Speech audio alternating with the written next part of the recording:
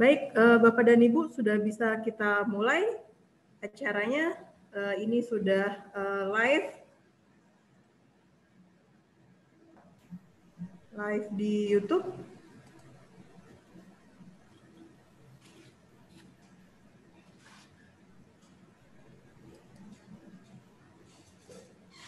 Ya, mungkin teman-teman, uh, rekan-rekan mahasiswa yang tidak bisa uh, akses masuk ke dalam Zoom, uh, bisa akses juga di YouTube Direktorat Kemahasiswaan dan Pengembangan Karir IPB. Saat ini sudah live. Uh, Pak Profesor Tony, bisa kita mulai atau bagaimana? Silakan, Bu oh. Eni. Baik, terima kasih. Kita mulai saja ya, teman-teman. Uh, Assalamualaikum warahmatullahi wabarakatuh. Waalaikumsalam. Uh, selamat sore dan selamat datang saya ucapkan kepada rekan-rekan mahasiswa baru IPB angkatan 57. Semoga teman-teman semua selalu dalam kondisi sehat di minggu-minggu di minggu awal perkuliahan uh, eh, IPB ini.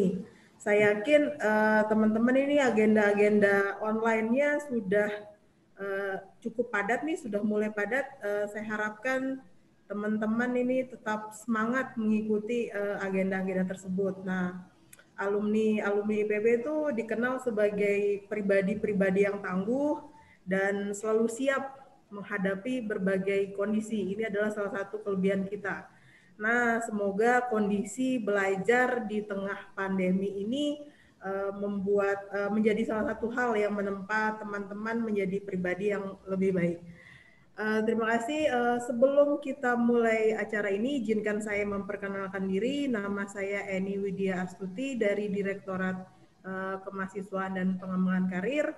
Uh, saya juga ingin menyapa Bapak dan Ibu yang sudah hadir di tengah-tengah kita.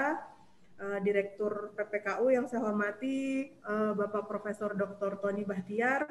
Uh, yang terhormat, mungkin ada di sini Ibu Dr. Nur Hayati, Direktur APPMB, eh, dan juga uh, Direktur eh, SITD, Bapak Insinyur Julio Adi Santoso MS, dan juga para narasumber kita pada sore hari ini, Asisten Direktur Bidang Pendidikan PPKU, Dr. Asep Gunawan, kemudian Asisten Direktur Perencanaan dan Informasi Pendidikan, Ibu Suratni MM, dan juga kepada rekan-rekan mahasiswa yang sudah hadir uh, melalui Zoom ataupun uh, YouTube.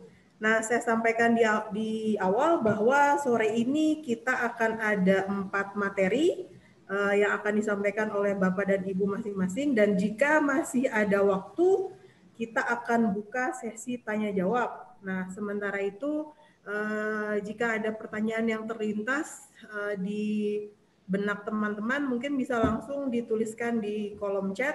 Eh, nanti akan kalau ada waktu akan saya eh, bacakan dan saya sampaikan kepada pemateri eh, yang bersangkutan. Baik, pertama mari kita dengarkan sambutan dari Direktur PPKU Profesor Tony Bahtiar yang akan memberikan sambutan sekaligus memberikan materi tentang apa itu PPKU. Baik kepada Prof. Tony, saya persilahkan.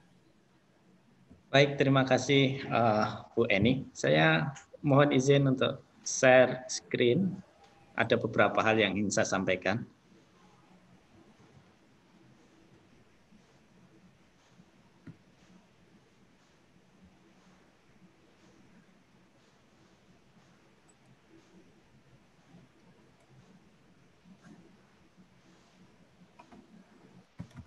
Sudah terlihat Bu Ratni? Sudah, sudah, sudah. Oke. Okay. Baik, uh, saya mengucapkan terima kasih kepada Bu Eni yang sudah memfasilitasi uh, kegiatan ini, sosialisasi bagi mahasiswa baru uh, eh, IPB University Angkatan 57. Uh, saya mengucapkan selamat datang di IPB. Ini mungkin bukan uh, pertemuan yang saya bayangkan dulu gitu beberapa waktu yang lalu saya membayangkan bahwa uh, Anda semua, seluruh mahasiswa IPB yang baru ini akan datang berbondong-bondong ke kampus IPB di Bogor ya. Tetapi ya situasi tidak memungkinkan. Jadi uh, dengan cara inilah kita bertemu untuk pertama kali.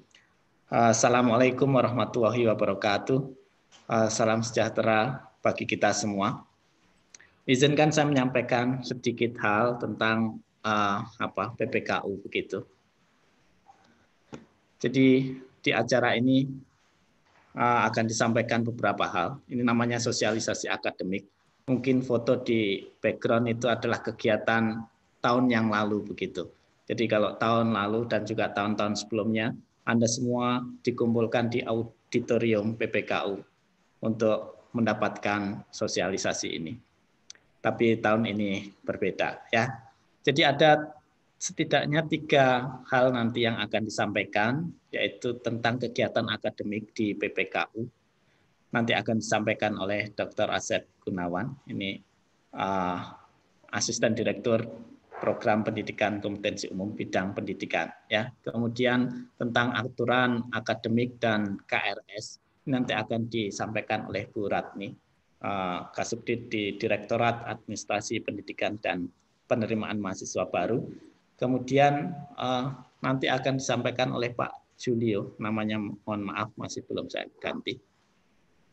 Direktur Sistem Informasi dan Transformasi Digital. Jadi tiga itu tiga menunya ya.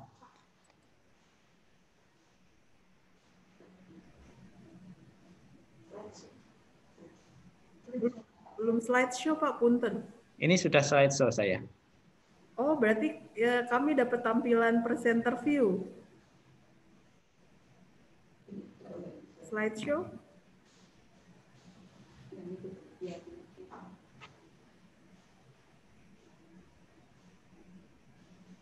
Sebentar. Apakah slide-nya sudah berpindah? Uh, belum Pak, masih ini tampilan tampilan PPT. Ini saya sudah slide so. Uh, uh, kami dapat ininya Pak. Hmm. Mungkin punten Pak yang itu di switch yang ada titik tiga di switch tadi balik lagi ke yang tadi Pak. Kalau yang ini Uh, ini masih PPT. halaman pertama ya? Iya, halaman kedua. Mungkin bisa slideshow. Ya, ini slideshow. Ya, sudah Pak. Sudah? Sudah. Oke. Coba saya tes dulu ya. Saya gerakkan ke... Sudah? Sudah Pak. Oke. Jadi mohon maaf, hambatan teknis Terima kasih Mbak Eni sudah dipandu. Bisa di-off-kan. Uh, jadi seperti yang mungkin Anda semua sudah ketahui bahwa tahun pertama di IPB ini disebut sebagai program pendidikan kompetensi umum, disingkat PPKU begitu ya. Kalau dulu-dulu namanya tingkat persiapan bersama atau TPP ya. Jadi kalau di kampus IPB begitu disebut mahasiswa PPKU semua orang sudah mafhum bahwa mereka adalah mahasiswa tahun pertama. PPKU ini di IPB dipandang sebagai program yang sangat penting, tahap yang sangat penting karena uh, ya di tingkat PPKU ini disampaikan banyak hal yang sifatnya sangat mendasar ya. Kemudian uh, jumlah mahasiswa PPKU, jumlah mahasiswa baru IPB angkatan 57, Anda dan seluruh teman-teman Anda ini jumlahnya adalah uh, eh, 4.337 plus ya. Plus ini karena dalam waktu dekat masih akan ada beberapa mahasiswa terutama dari jalur afirmasi dikti yang akan hadir. Mungkin tidak terlalu banyak tapi itu akan datang dalam waktu dekat. Jadi katakanlah jumlahnya adalah 4.337 ya. Nah, uh, dari 4 ribuan itu 40 persen ini adalah laki-laki dan 60 persen adalah perempuan. Dalam beberapa tahun terakhir seperti inilah uh, komposisi mahasiswa IPB. Ya, jadi perempuan lebih banyak dan di sekitar 60 persen, sedangkan laki-lakinya 40 persen. Kemudian kalau dilihat dari asal daerah, eh, Anda semua berasal dari 32 provinsi dan 272 kabupaten atau kota. Ya, ada dua provinsi yang belum terwakili, tetapi saya yakin biasanya terwakili. Ya, biasanya mahasiswa IPB ini datang dari seluruh eh, provinsi yang ada di Indonesia. Karena masih ada beberapa yang belum mengisi data provinsi ini sehingga masih kosong. Ya, jadi Anda berasal dari 32 provinsi, 272 kabupaten kota. Jadi saya kira Anda akan punya teman dari seluruh Indonesia. Kemudian kalau dari jalur masuk, 42 persen ini dari SNMPTN, 33 persen dari SPM, kemudian 6 persen ini dari ketua OSIS, kemudian 5 persen dari BUD atau juga PIN ya, saya gabung, kemudian 30 persen ini dari ujian tulis mandiri berbasis komputer untuk MDK. Kemudian 2 persen ini ada dari uh, kelas internasional. Sedangkan afirmasi dikti masih ditunggu jumlahnya. Kemudian Anda semua nanti akan ya bergabung dengan 10 fakultas yang ada di IPB. 39 program studi yang ada di IPB ya ada Fakultas Pertanian, Kedokteran Hewan, Perikanan, Peternakan, Kehutanan dan Lingkungan, kemudian Fakultas Teknologi Pertanian, Fakultas MIPA, Fakultas Ekonomi dan Manajemen, Fakultas Ekologi Manusia, dan Sekolah Bisnis. Untuk mengetahui seorang mahasiswa ini berasal dari uh, fakultas apa biasanya dicirikan oleh uh, digit pertama Anda ya. Jadi kalau A sekian berarti dari Fakultas Pertanian, B sekian dari kedokteran hewan dan seterusnya. Kemudian nanti di perkuliahan tahun pertama di PPKU Anda akan terbagi menjadi dua klaster ya, yaitu klaster Science and Technology singkatannya ST. Jadi kalau Anda kelompok ST itu artinya uh, kependekan dari Science and Technology. Kemudian klaster yang satunya lagi adalah Science and Society disingkat SS ya. Dua klaster tersebut nanti akan terbagi menjadi 38 kelas. Jadi kalau ada ST01 sampai ST26 itu artinya ada 26 uh, kelas Science and Technology. Ditambah dua kelas internasional. Kemudian cluster Science and Society ini terbagi menjadi 9 kelas plus satu kelas internasional. Ya, jadi totalnya akan ada 38 kelas. Kemudian bisa saya sampaikan bahwa perkuliahan Anda itu akan dimulai pada tanggal 7 September. Jadi Senin depan Anda sudah uh, mulai kuliah. Anda satu minggu lebih lambat daripada kakak kelas Anda yang di tingkat 2, 3, dan 4. Karena uh, kakak kelas Anda mulainya pada Senin yang lalu. ya. Sedangkan Anda sedikit satu minggu uh, lebih lambat, 7 September. ya. Jadi mohon dipersiapkan Kemudian saya sampaikan juga bahwa perkuliahan semester ganjil dua tahun akademik 2020-2021 akan diselenggarakan secara daring. Ya, karena situasi yang belum memungkinkan. Oleh karena itu, mohon Anda semua dapat mempersiapkan berbagai perangkatnya. Dosen-dosen di IPB biasanya menggunakan uh, Google Meet atau Zoom atau Webex.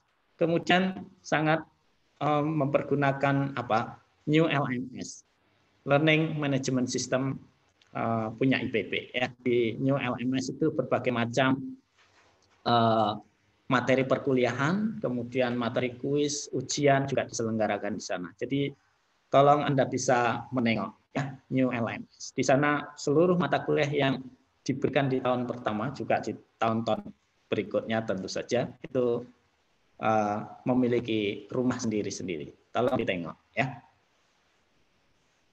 Kemudian ya karena daring, seandainya tidak daring, maka Anda akan kuliah di gedung ini. Ini namanya gedung CCR begitu. Common Classroom ya.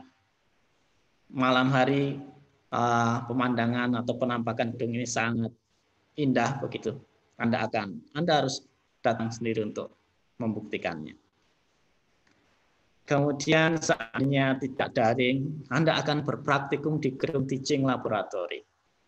gedungnya mirip dan mereka berhadapan ya gedung teaching laboratory dan gedung CCR itu berhadapan jadi uh, kuliah Anda seharusnya sangat simpel Anda tinggal berpindah dari gedung CCR kemudian pindah ke gedung TL untuk melakukan praktikum biologi, fisika, kimia gitu ya untuk cluster stay. Kemudian seandainya tidak daring Anda akan tinggal di asrama PPK sangat banyak cerita seru yang uh, bisa diceritakan oleh insan-insan asrama yang pernah tinggal di asrama PPK. Ya, Anda bisa searching di Google bagaimana serunya mereka. Ini adalah asrama putri ini. Ya, tentu saja ada 10 gedung asrama, 5 putri dan 5 putra. Anda akan senang tinggal di sana saya yakin. Tetapi ya mungkin tidak saat ini ya. Oke, ini sudah menjelang akhir. Saya angkatan 57 ini sangat istimewa. Ya, saya bisa sebutkan satu keistimewaan. Jadi di ada sebuah barisan bilangan diawali dari 8, kemudian 17, 32, 54, 57, 100, 145 dan seterusnya. 57 angkatan Anda ada di dalamnya, ya. Jangan mencoba mencari polanya karena ini sangat sulit. Anda tidak akan pernah mendapatkan polanya ya.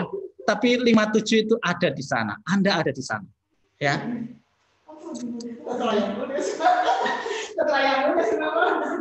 Ya, tentu saja ini ada kaitannya dengan matematika. Jadi barisan bilangan ini disebut sebagai barisan bilangan Leyland ya yang diajukan oleh matematikawan Paul Leyland ya. Bilangan ini dibentuk oleh X pangkat Y ditambah Y pangkat X. Dengan X dan Y ini bilangan bulat yang lebih dari satu. ya. Jadi Anda terpilih ini. Angkatan 57 sangat istimewa. Kalau A, bilangan Leyland berikutnya itu adalah 100. Anda harus menunggu berapa itu? 30 tiga tahun untuk bisa memiliki bilangan lelan selanjutnya. Jadi selamat Anda sangat istimewa, setidaknya dari sudut pandang matematik. Ya, saya berikan dua PR untuk Anda. X pangkat Y ditambah, sorry, X pangkat Y ditambah Y pangkat X. ya Itu salah. Yang benar yang di atas ini ya. X pangkat Y ditambah Y pangkat X sama dengan 57 tugas Anda adalah mencari berapa X dan berapa Y sehingga diperoleh 57 ya. Kemudian carilah suku berikutnya setelah 145 ini berapa ya. Carilah bilangan Leyland berikutnya. X pangkat Y ditambah Y pangkat X ya.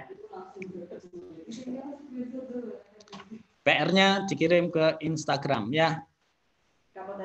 Instagramnya PPKO. Oke, saya kira ini akhir dari ha, presentasi saya. Jadi di PPKO ini ada uh, Dr. Asep Gunawan. Ini adalah asisten direktur bidang pendidikan. Beliau juga dosen di Departemen Ilmu Produksi dan Nutrisi Teknologi Peternakan INTP. Mungkin anda ada yang dari departemen yang sama. Kemudian ada Bapak Muhammad Fauzan STMT. Ini beliau adalah asisten direktur bidang sumber daya dan fasilitas. Beliau dari uh, departemen teknik Sil, Sil ya, teknik sipil dan lingkungan. Kemudian saya sendiri, saya dari departemen matematika FMIPA dan yang terakhir adalah uh, Dr. Zainal Abidin, beliau asisten direktur bidang asrama mahasiswa dan kemahasiswaan dosen di Departemen Kimia. Saya kira itu saja presentasi dari saya, Bu Eni. Terima kasih. Assalamualaikum warahmatullahi wabarakatuh. Waalaikumsalam warahmatullahi wabarakatuh. Terima kasih Prof. Tony. Menarik sekali materi yang disampaikan tadi. Ada uh, keistimewaan nih buat uh, teman-teman angkatan 57 tadi masuk ke dalam uh, rangkaian bilangan Lailan. Dan tadi sudah dikasih PR tuh sama Pak Tony untuk mencari bilangan Lailan ke-8. Silahkan nanti bisa diunggah dan eh, diunggah di Instagram masing-masing dan mention akun PPKU. Nanti mungkin bisa dibantu oleh Pak Dr. Asep untuk menyebutkan nama akunnya PPKU. Baik, materi kedua akan disampaikan oleh Asdir PPKU bidang pendidikan kepada Dr. Asep. Eh, saya persilakan untuk menyampaikan materi tentang kehidupan akademik di PPKU. Seperti apa model perkuliahannya dan kondisi online seperti ini eh, bagaimana. Silakan Pak Asep.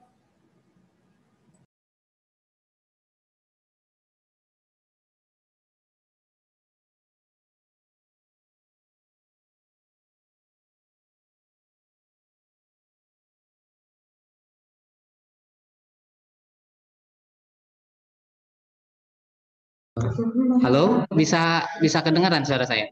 Dengaran Pak, bisa terdengar baik. dengan baik.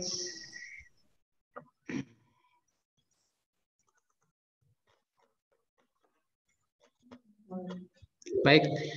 Uh, Assalamualaikum warahmatullahi wabarakatuh.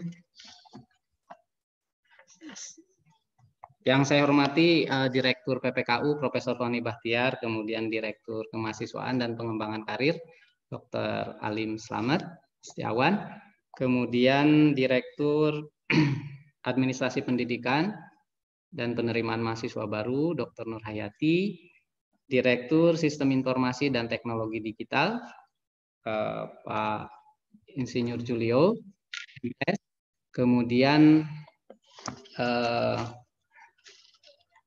Asisten Direktur Bidang Perencanaan Akademik Ibu Suratni, eh, pada sore yang berbahagia ini senang rasanya bisa bertemu dengan adik-adik semua atau teman-teman semua yang angkatan 57 yang sudah akan memulai perkuliahan hari Senin depan.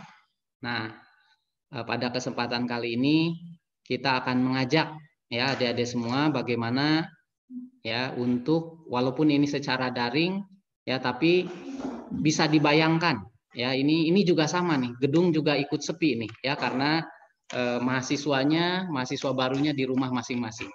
Tadi sebagaimana Profesor Tony sampaikan, seandainya tidak daring ini sangat ramai sekali ya seperti itu. Baik, izinkan pada kesempatan kali ini saya akan menyampaikan terkait bidang pendidikan, khususnya nanti teman-teman angkatan 57 ya, kira-kira akan melaksanakan eh, perkuliahan di tahun pertama ya atau disebut uh, unitnya adalah program pendidikan kompetensi umum. Uh, so, slide show-nya utuh ya, baik. Uh, tadi sudah dikenalkan, nah sekarang saya tidak perlu mengenalkan, jadi mohon diingat-ingat wajah-wajah yang eh, tadi di PPKU ya wajahnya seperti apa. Tadi kalau Prof. Tony menyampaikan bilangan nah kalau saya bentuk kira-kira seperti apa bentuknya? Rambutnya karena saya orang genetik ya jadi apakah bergelombang lurus itu diwariskan ya. Nah yang pertama adalah eh, direktur kami Profesor Tony Bahtiar kemudian saya sendiri Asep Gunawan. Tadi sudah dikenalkan eh, selain eh, diperbantukan di PPKU tingkat pertama ini bidang pendidikan juga di Fakultas Peternakan. Nanti eh, bagi adik-adik yang eh, apa masuk Fakultas Peternakan bisa bertemu di sesi perkuliahan selanjutnya. Kemudian bidang sumber daya dan fasilitas ini Pak Muhammad Fauzan MT. Kemudian bidang kemahasiswaan ya dan asrama asrama mahasiswa dan kemahasiswaan ya kalau tidak daring ini tinggal di asrama itu dengan Pak Dr. Zainal Abidin ya dosen kimia. Nah tadi PPKU saya sedikit menjelaskan. Jadi eh, kenapa eh, tahun pertama tadi eh, di apa perkuliahannya disamakan ya di tingkat satu itu untuk nanti membekali ya mahasiswa dengan kemampuan kompetensi umum nanti sebelum masuk ke fakultas atau departemen. Nah tugas pokoknya adalah terkait dengan akademik ya khususnya di tahun pertama nanti ya. Jadi 4000 ini nanti di bawah eh, koordinasi dari eh, atau tanggung jawab dari PPKU. Jadi mulai sekarang eh, teman-teman mulai ya mulai familiar ya dengan nama PPKU ini ya, Program Pendidikan Kompetensi Umum. Kemudian nanti selama empat tahun ya termasuk di PPKU ini sampai selesai nanti ya lulus wisuda itu 140 SKS. Ya, nanti SKS itu bagaimana nanti akan dijelaskan. Nah, kegiatan akademik eh, selama satu tahun ke depan atau dua semester, ya, semoga di semester dua bisa offline ya bertemu. Eh, ini eh, nanti teman-teman atau adik-adik angkatan 57 ini akan menyelesaikan kurang lebih sekitar sekitar 32 sampai 36 SKS. Nah, kegiatannya apa saja? Itu adalah perkuliahan, kemudian praktikum, ya, Eh, praktikumnya nanti mungkin virtual ya ataupun mungkin simulasi kalau sekarang online. Kemudian juga responsi. Responsi nanti akan eh, melaksanakan pendalaman dari materi kuliah. Ini kemudian nanti dibahas ya secara eh, apa lebih interaktif dan juga nanti ada tugas-tugas secara individual. Kemudian nanti ada ujian. Nah, ujiannya mungkin berbeda dengan di SMA ya. Kalau di Eh, perguruan tinggi ya eh, khususnya di IPB ya hampir sama sepertinya di perguruan tinggi lain ini mengenal dua ya dua ujian yang pertama adalah ujian tengah semester itu saya singkat UTS kemudian ada ujian akhir semester ya nah nanti teknisnya nanti Bu eh, Ratni nanti akan menjelaskan satu mata kuliah ya itu perkuliahan eh, biasanya ya nanti dilaksanakan selama 14 pertemuan ya 14 minggu. Nah, setelah tujuh minggu itu akan dilaksanakan ujian tengah semester ya. Kemudian eh, tujuh, tujuh minggu kemudian nanti akan dilaksanakan ujian akhir semester. Ya nilai nanti akan eh, di Eh, akumulasi dari ujian tengah semester dan ujian akhir semester, kemudian juga dari tugas-tugas ya atau praktikum yang diberikan. Nah, kegiatan lain yang biasanya nanti teman-teman dapatkan ya, eh, di tingkat pertama ini adalah kuliah umum. Ya, biasanya eh, ada tokoh-tokoh ataupun pejabat-pejabat dari apa eh, tingkat nasional ya menteri kemudian juga eh, atau eh, bidang-bidang yang memang terkait itu nanti sebagai penambahan wawasan. Baik, nah ini mungkin apa mulai agak banyak ya. Ini nanti yang dilihat adalah yang satu saja ya. Nah satu ini cukup banyak tapi sebetulnya tidak karena ini agama ini nanti eh, apa eh, akan diambil sesuai dengan eh, biodata yang diisi ya seperti itu. Nah, eh, nanti akan kita bedakan yang ingin saya sampaikan di sini adalah eh, sekarang ini angkatan 57 merupakan angkatan pertama ya yang akan mengimplementasikan kurikulum 2020. Tadi sudah dijelaskan oleh Profesor Tony angkatannya spesial, angkanya ya karena sudah punya angka tersendiri. Nah, ini juga dari kurikulum ini kurikulum yang mengimplementasikan ya di eh, apa sebagai eh, tahun pertama implementasi dari kurikulum 2020. Nah, nanti letak perbedaannya akan disampaikan. Yang pertama ada science text ya, science and technology ya atau disingkat nanti ST, kemudian ada science and society atau SS ya. Jadi nanti uh, akan berbeda ya letaknya antara ST dengan SS. Nah, ini nanti list mata kuliah yang kita akan deskripsikan uh, secara uh, lengkap. Nah ini ya nanti dilihat saja ya ada yang wajib nasional, ada yang reasoning tadi itu diambil semua ya kemudian ada yang sifatnya apa enrichment ya untuk menambah. Nah, mungkin belum familiar ya apa yang dikatakan SKS. Ya, SKS misalnya tadi eh, apa matematik misalnya ya. Uh, oh kimia ya. Misalnya kimia ini adalah tiga ya. Tiga SKS tiga SKS itu apa? Penjelasannya adalah kreditnya total tiga ya. Di situ tiga itu adalah total beban kredit. Kemudian dua itu adalah beban kredit kuliah. Jadi kuliahnya nanti selama dua jam ya. Kemudian satu satu itu adalah beban kredit praktikum ya satu beban kredit praktikum itu di apa dijelaskan satu SKS eh, di sini eh, responsi ya 50 menit atau per minggu, kemudian ada tugas ya 60 menit kegiatan mandiri seperti itu. Kalau satu SKS praktikum itu adalah 150 menit ya atau tiga jam uh, uh, dalam hitungan kita satu jam perkuliahan itu satu SKS kuliah itu adalah 50 menit ya bukan 60 menit ya seperti itu. Jadi satu itu bisa kalau praktikum berarti tiga kali 50. Ya nanti akan familiar ya dengan sendirinya. Nah, tadi dijelaskan terka, te, uh, apa pembentukan kelompok. Nanti perkuliahan ini ada dua. Yang pertama adalah cluster SS, ST, Science and Technology. Ini tadi uh, Prof Tony menyampaikan jumlah secara keseluruhan mahasiswa kita. Nah, kita di bagian akademik membagi ya, membaginya uh, jumlah mahasiswa ST ini sebanyak 3.378 ya yang paling banyak. Karena ini akan me me, apa ya merepresentasikan atau dibagi ke dalam 26 kelompok nanti ya. Kemudian nanti kelompoknya ada ST01 sampai ST026. Jadi nanti kelompok perkuliahan atau kelasnya nanti ST01. Nah, itu nanti akan terdiri dari uh, berbagai uh, prodi ya yang sudah kita blending. Kemudian cluster social science, science and society ini jumlahnya adalah sekitar 959. Nah, dibagi menjadi 9 kelompok, ya. Nah, nanti yang klaster SS ini SS01 sampai SS09, ya.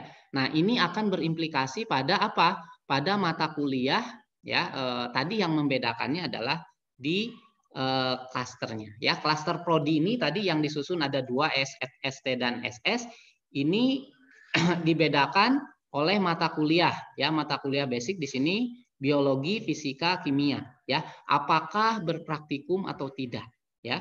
Dan mungkin eh, apa eh, dan juga ekonomi nanti ya. Ekonomi yang SS ini dasar ya. Kalau yang ST ya nanti eh, ekonomi saja ya. Kemudian nah klaster ST nanti eh, teman-teman atau angkatan 57 akan uh, familiar ya dengan nama fakultas itu nanti uh, dengan alfabet ya A itu pertanian, B kedokteran hewan, C perikanan dan kelautan, D peternakan, E kehutanan dan lingkungan, kemudian F teknologi pertanian, G MIPA ya, kemudian H H, H ini yang di sini atau I ini adalah ekologi manusia ya nanti disesuaikan ya dengan penerimaan eh, apa eh, mahasiswa barunya ya I itu H itu adalah ekonomi dan manajemen. Ya. Nah, klaster ini nanti akan uh, di mix ya berdasarkan tadi uh, fakultas ya seperti itu. Jadi SS ini relatif tadi hanya 9. Nah, ini kalau kita jelaskan lagi ya. Nah, nanti kan ada NIM-nya ya. Eh, teman-teman angkatan 57 ini sudah punya NIM, nomor induk mahasiswa. Ada yang A1 misalnya bla bla bla ya. Nah, itu nanti A, D bisa dilihat di sini G ya. I1 itu pasti masuknya adalah klaster ST. Kemudian yang SS ini adalah yang huruf depannya adalah H. Ya, H1 ilmu ekonomi misalnya, H2 manajemen ya. Ini masuknya adalah uh, science and society ya. Kemudian nanti ada I2 ilmu konsumen, kemudian SKPM komunikasi dan juga bisnis. Nah, kita juga memiliki ya kelas internasional ya atau kita eh, berikan indikasi INT ST01 ini satu kelompok terdiri dari kedokteran hewan, teknologi pertanian, teknologi pangan dan eh, teknik industri, juga eh, apa eh, ilmu dan teknologi kelautan. Kemudian SS itu adalah K ya bisnis. Baik. Nah, hal yang paling eh, penting ketika daring ini adalah teman-teman semua ya angkatan 57 selalu berkoordinasi ya berkoordinasi terutama yang akan menjembatani nanti proses kelancaran dari perkuliahan itu ada empat ya empat komponen di sini. Yang pertama adalah PPKU itu ada sekretariat nanti kita akan berikan eh, kontaknya. Kemudian bidang pendidikan pendidikan ya agak salah ini Kemudian koordinator mata kuliah ya nanti uh, ada uh, namanya atau nanti berhubungan dosen uh, dengan dosen mata kuliah. Nah, kemudian di setiap kelompok ST1 sampai ST26 itu ada istilahnya komti. Ya, komti itu uh, istilahnya apa? Komisaris tingkat ya? Ya, Pak. Komisaris tingkat. Ini nanti yang akan menjembatani ya uh, proses perkuliahan ya, kelancaran proses keluar ke perkuliahan, penjadwalan ya, itu dengan dosen ya, dosen atau bisa dua arah. Dari komti ini bisa ke PPKU juga seperti itu ya. Nah, oleh karena itu nanti mungkin akan uh, di apa ya kita uh, diskusikan juga ya dari para dosen koordinator ini memiliki juga nomor komti ya supaya nanti uh, bisa uh, perkuliahan ini berjalan lancar karena memang kondisinya tidak bertemu ya offline sekarang seperti itu jadi mohon untuk uh, komunikasi ini adalah hal yang sangat penting kemudian mahasiswa PPKU ini tentu saja adalah uh, setelah komti ini anggota ya dari kelas ya anggota kelas yang untuk selalu tadi proaktif dan juga untuk bersama-sama tadi dalam mengikuti perkuliahan. Ini secara singkat akan saya jelaskan supaya nanti lebih paham ya. Tadi saintek ini perbedaannya tadi dari uh, mata kuliah dasar ya. Biologinya misalnya perbedaannya di sini. Kalau yang teknolo sains teknologi itu adalah biologi dasar. Tapi kalau untuk yang science society itu biologi umum ya. Kemudian kimia untuk saintek ya ini kimia, science and technology. Tapi untuk eh, misalnya science and society itu hanya kimia umum ya. Nah, kemudian untuk fisika, fisika saintek untuk yang ST, tapi untuk yang SS itu humaniora. Jadi penekanannya nanti akan sedikit berbeda dan juga konsekuensi terhadap SKS. Ya, kalau 20 Tadi kan beda dengan yang kita jelasin 3, 2, 1, berarti 0, praktikumnya tidak ada, begitu ya. Nah, namun kebalikan penekanannya adalah misalnya karena science and society ini eh, apa lebih eh, penekanannya di sosial, untuk ekonomi ini belum saya ganti, nanti kreditnya adalah tiga, ya ada praktikumnya atau nanti mungkin namanya ini ekonomi dasar.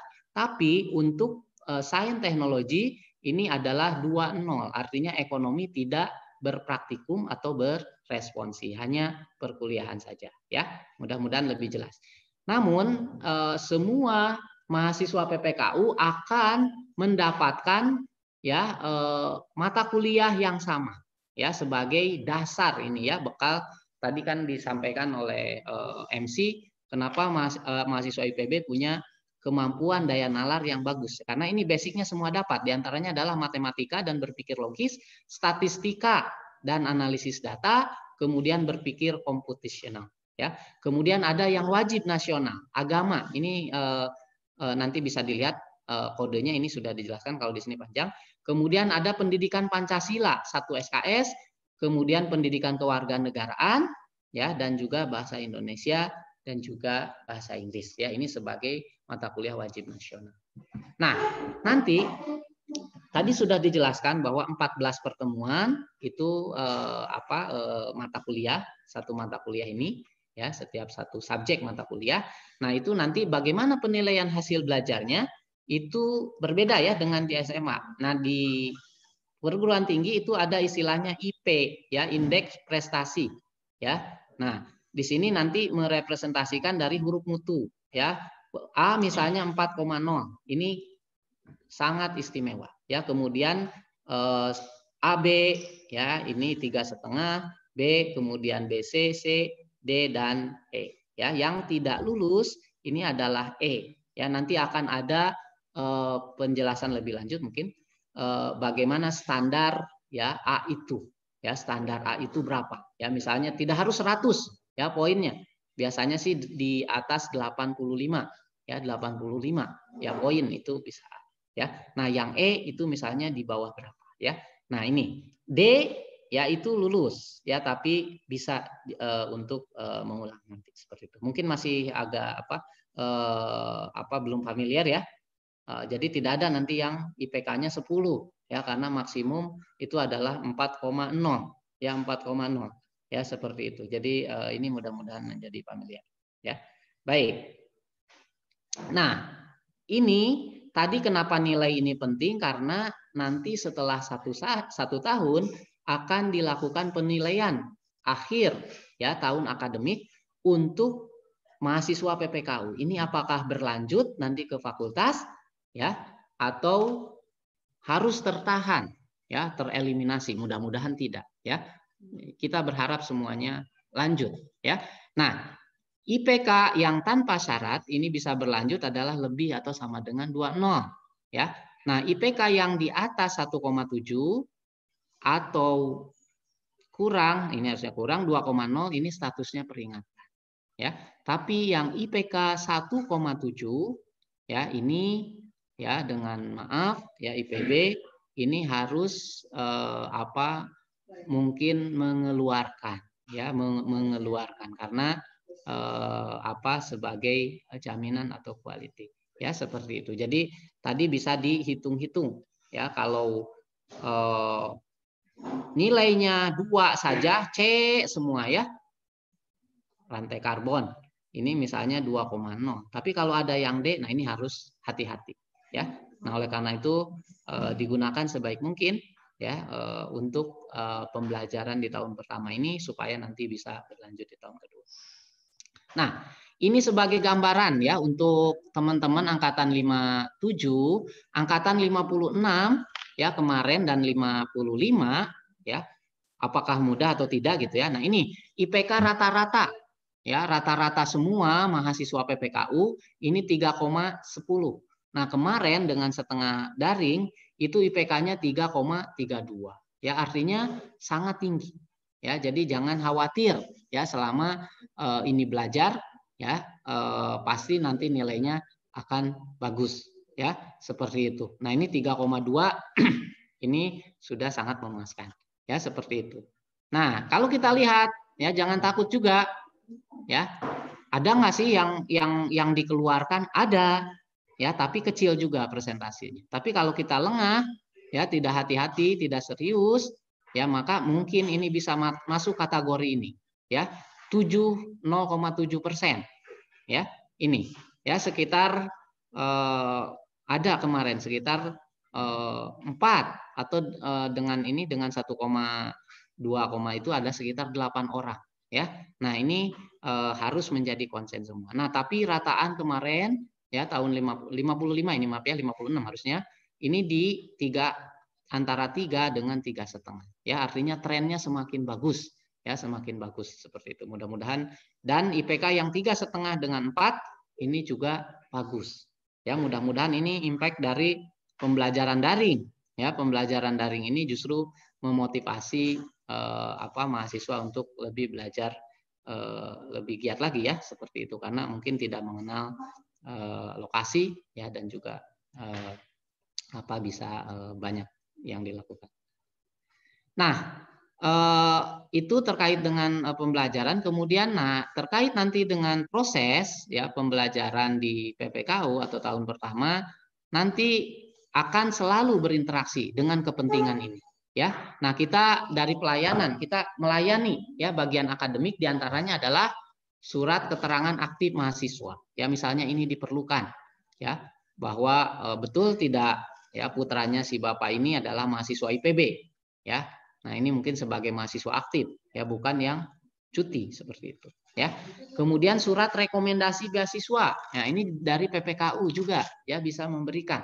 Barangkali nanti dalam perjalanannya ya eh, empat bulan atau berapa gitu ada beasiswa yang ditawarkan dari daerah atau misalnya dari e, swasta ya yang misalnya salah satu persyaratannya harus melampirkan rekomendasi. Nah, direktur PPKU ini bisa membuat memberikan rekomendasi tentu saja dengan rekor ya dengan catatan e, apa e, dari teman-teman semua, baik itu prestasi maupun organisasi ya keaktifan sebagai mahasiswa ini penting ya di sini oleh karena itu eh, apa eh, eh, ini sangat diperhatikan. Kemudian nanti surat izin perkuliahan ya responsi dan praktikum. Ya pada terutama yang offline ya yang offline mungkin ini eh, sangat-sangat diperlukan tapi kalau online mungkin tidak ketahuan ya apakah sakit tapi mungkin juga bisa ya. Nah, biasanya praktikum itu harus 100% ya namun eh, ada kondisi-kondisi yang tidak memungkinkan seperti sakit atau dapat berita yang tidak kita inginkan misalnya kemalangan itu memerlukan surat izin yang eh, kita bisa sampaikan kepada koordinator. Nah, inilah adalah ruang pelayanan ya PPKU. Ya biasanya ramai ini dengan mahasiswa, tapi kondisi sekarang eh, hanya eh, piket saja ya para eh, staf dari bagian akademik. Nah, ini sebagai contoh misalnya nanti ya, surat izin kuliah. Nah, prosedurnya seperti apa? Nah, alasan sakit, melampirkan surat dokter kartu tanda mahasiswa. Alasan kemalangan, melampirkan misalnya surat kematian. Mudah-mudahan tidak terjadi ya.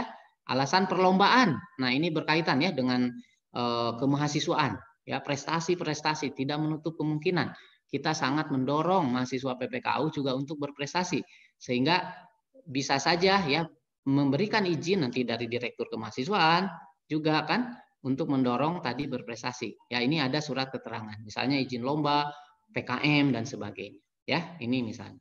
Ya. Nah, ini contoh ya, contoh surat keterangan sakit. Ini yang ditandatangani oleh direktur kami, ya. Misalnya nama ini departemennya apa, kelompoknya. Nah, kelompok ini selalu melekat ya. Oleh karena itu jangan sampai lupa. Ini masih klaster yang lama ya. ST01 adalah mahasiswa betul ya tidak dapat mengikuti UTS misalnya. Ya, ujian tengah semester pun bisa saja ya karena sakit. Ya seperti itu. Ya tapi kalau misalnya daring eh, mudah-mudahan uh, ya bisa juga ya seperti itu. Nah surat rekomendasi beasiswa. Ya ini juga sangat-sangat penting. Yang pertama adalah track record kita akademik. Makanya kalau akademiknya bagus ini juga menjadi bobot tersendiri dalam pertimbangan pemberi beasiswa ya. Kemudian keaktifan ya keaktifan kemahasiswaan ini juga Eh, bagian yang penting ya tidak kalah penting ya. Nah nanti ini akan direcord oleh kita ya akademiknya seperti apa aktif di mana ya kemudian juga ada pertimbangan-pertimbangan yang lain ya. Itu. Nah cara pengurusan persuratannya bagaimana ya? Nah ini mungkin informasi penting ya terutama untuk mahasiswa PPKU nanti karena ini daring ya dan juga sebelumnya eh, sudah kita buat secara online ini adalah Bitly ya di sini ada ya form PEMA, pelayanan mahasiswa PPKU ya 2020 ya. Nah, sebaiknya menggunakan email APPS ya karena resmi. Nanti teman-teman angkatan 57 akan mendapatkan email formal ya dari IPB. Nanti misalnya saya ya A Gunawan at APPS IPB ICID. Nah, itu yang digunakan. Kemudian mengisi formulir dan scan ya semua dokumen yang dibutuhkan. Jadi Proses ini akan mudah tergantung dari tadi kelengkapan dari dokumen ya. Bisa dikirimkan ke email PPKU, IPB, APPS, IPB, ICID ini ya yang masuk dengan alamat APPS ya. Seperti dan dan dengan subjek atau subjek nama surat yang diajukan. Surat permohonan beasiswa, surat permohonan e, izin perkuliahan misalnya seperti itu ya atau aktif kuliah dan sebagainya ya. Itu nah ini aktivitas perkuliahan itu seperti apa? Nah ini kelas anda ya. Kalau normal ini satu klaster ST01 itu adalah kapasitas 120 orang misalnya ya. Nah ini kurang lebih seperti ini ya. Belajar di perguruan tinggi itu kurang lebih seperti ini ya. Kursinya ada mungkin tidak seperti di SMA ya Nah, kurang lebih begini, prosesnya sangat-sangat dekat ya dan interaktif ya seperti itu ya. Jadi sekarang dibayangkan saja ya. Nah, kalau sekarang dosennya yang mengajar kemudian eh, apa dengan sistem online ya. Ini perkuliahan.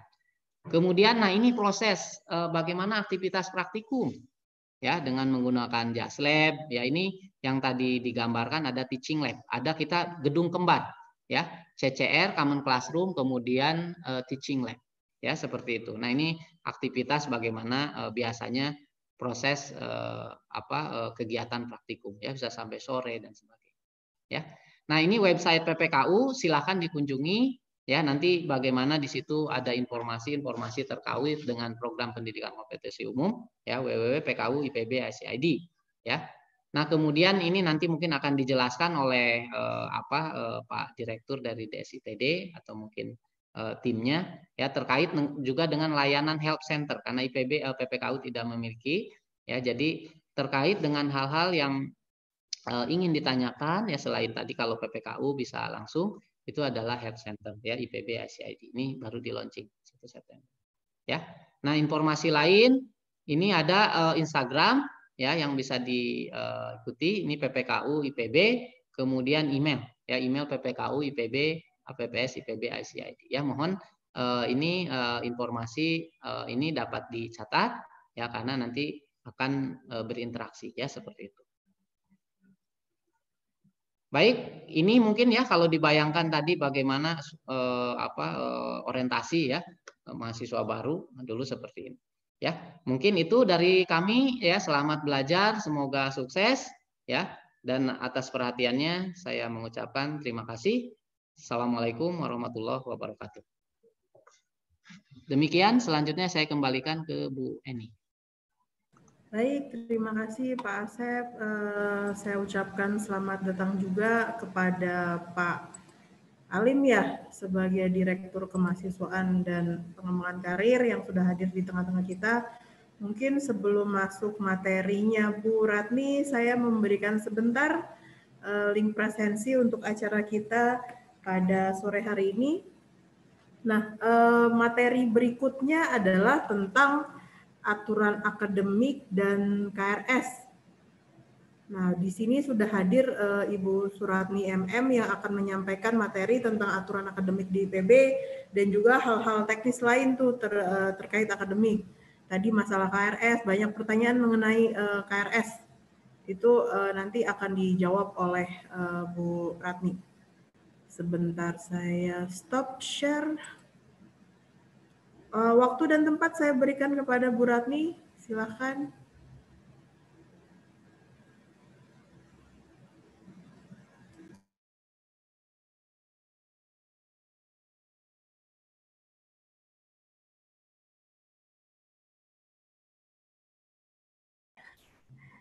Kelihatan?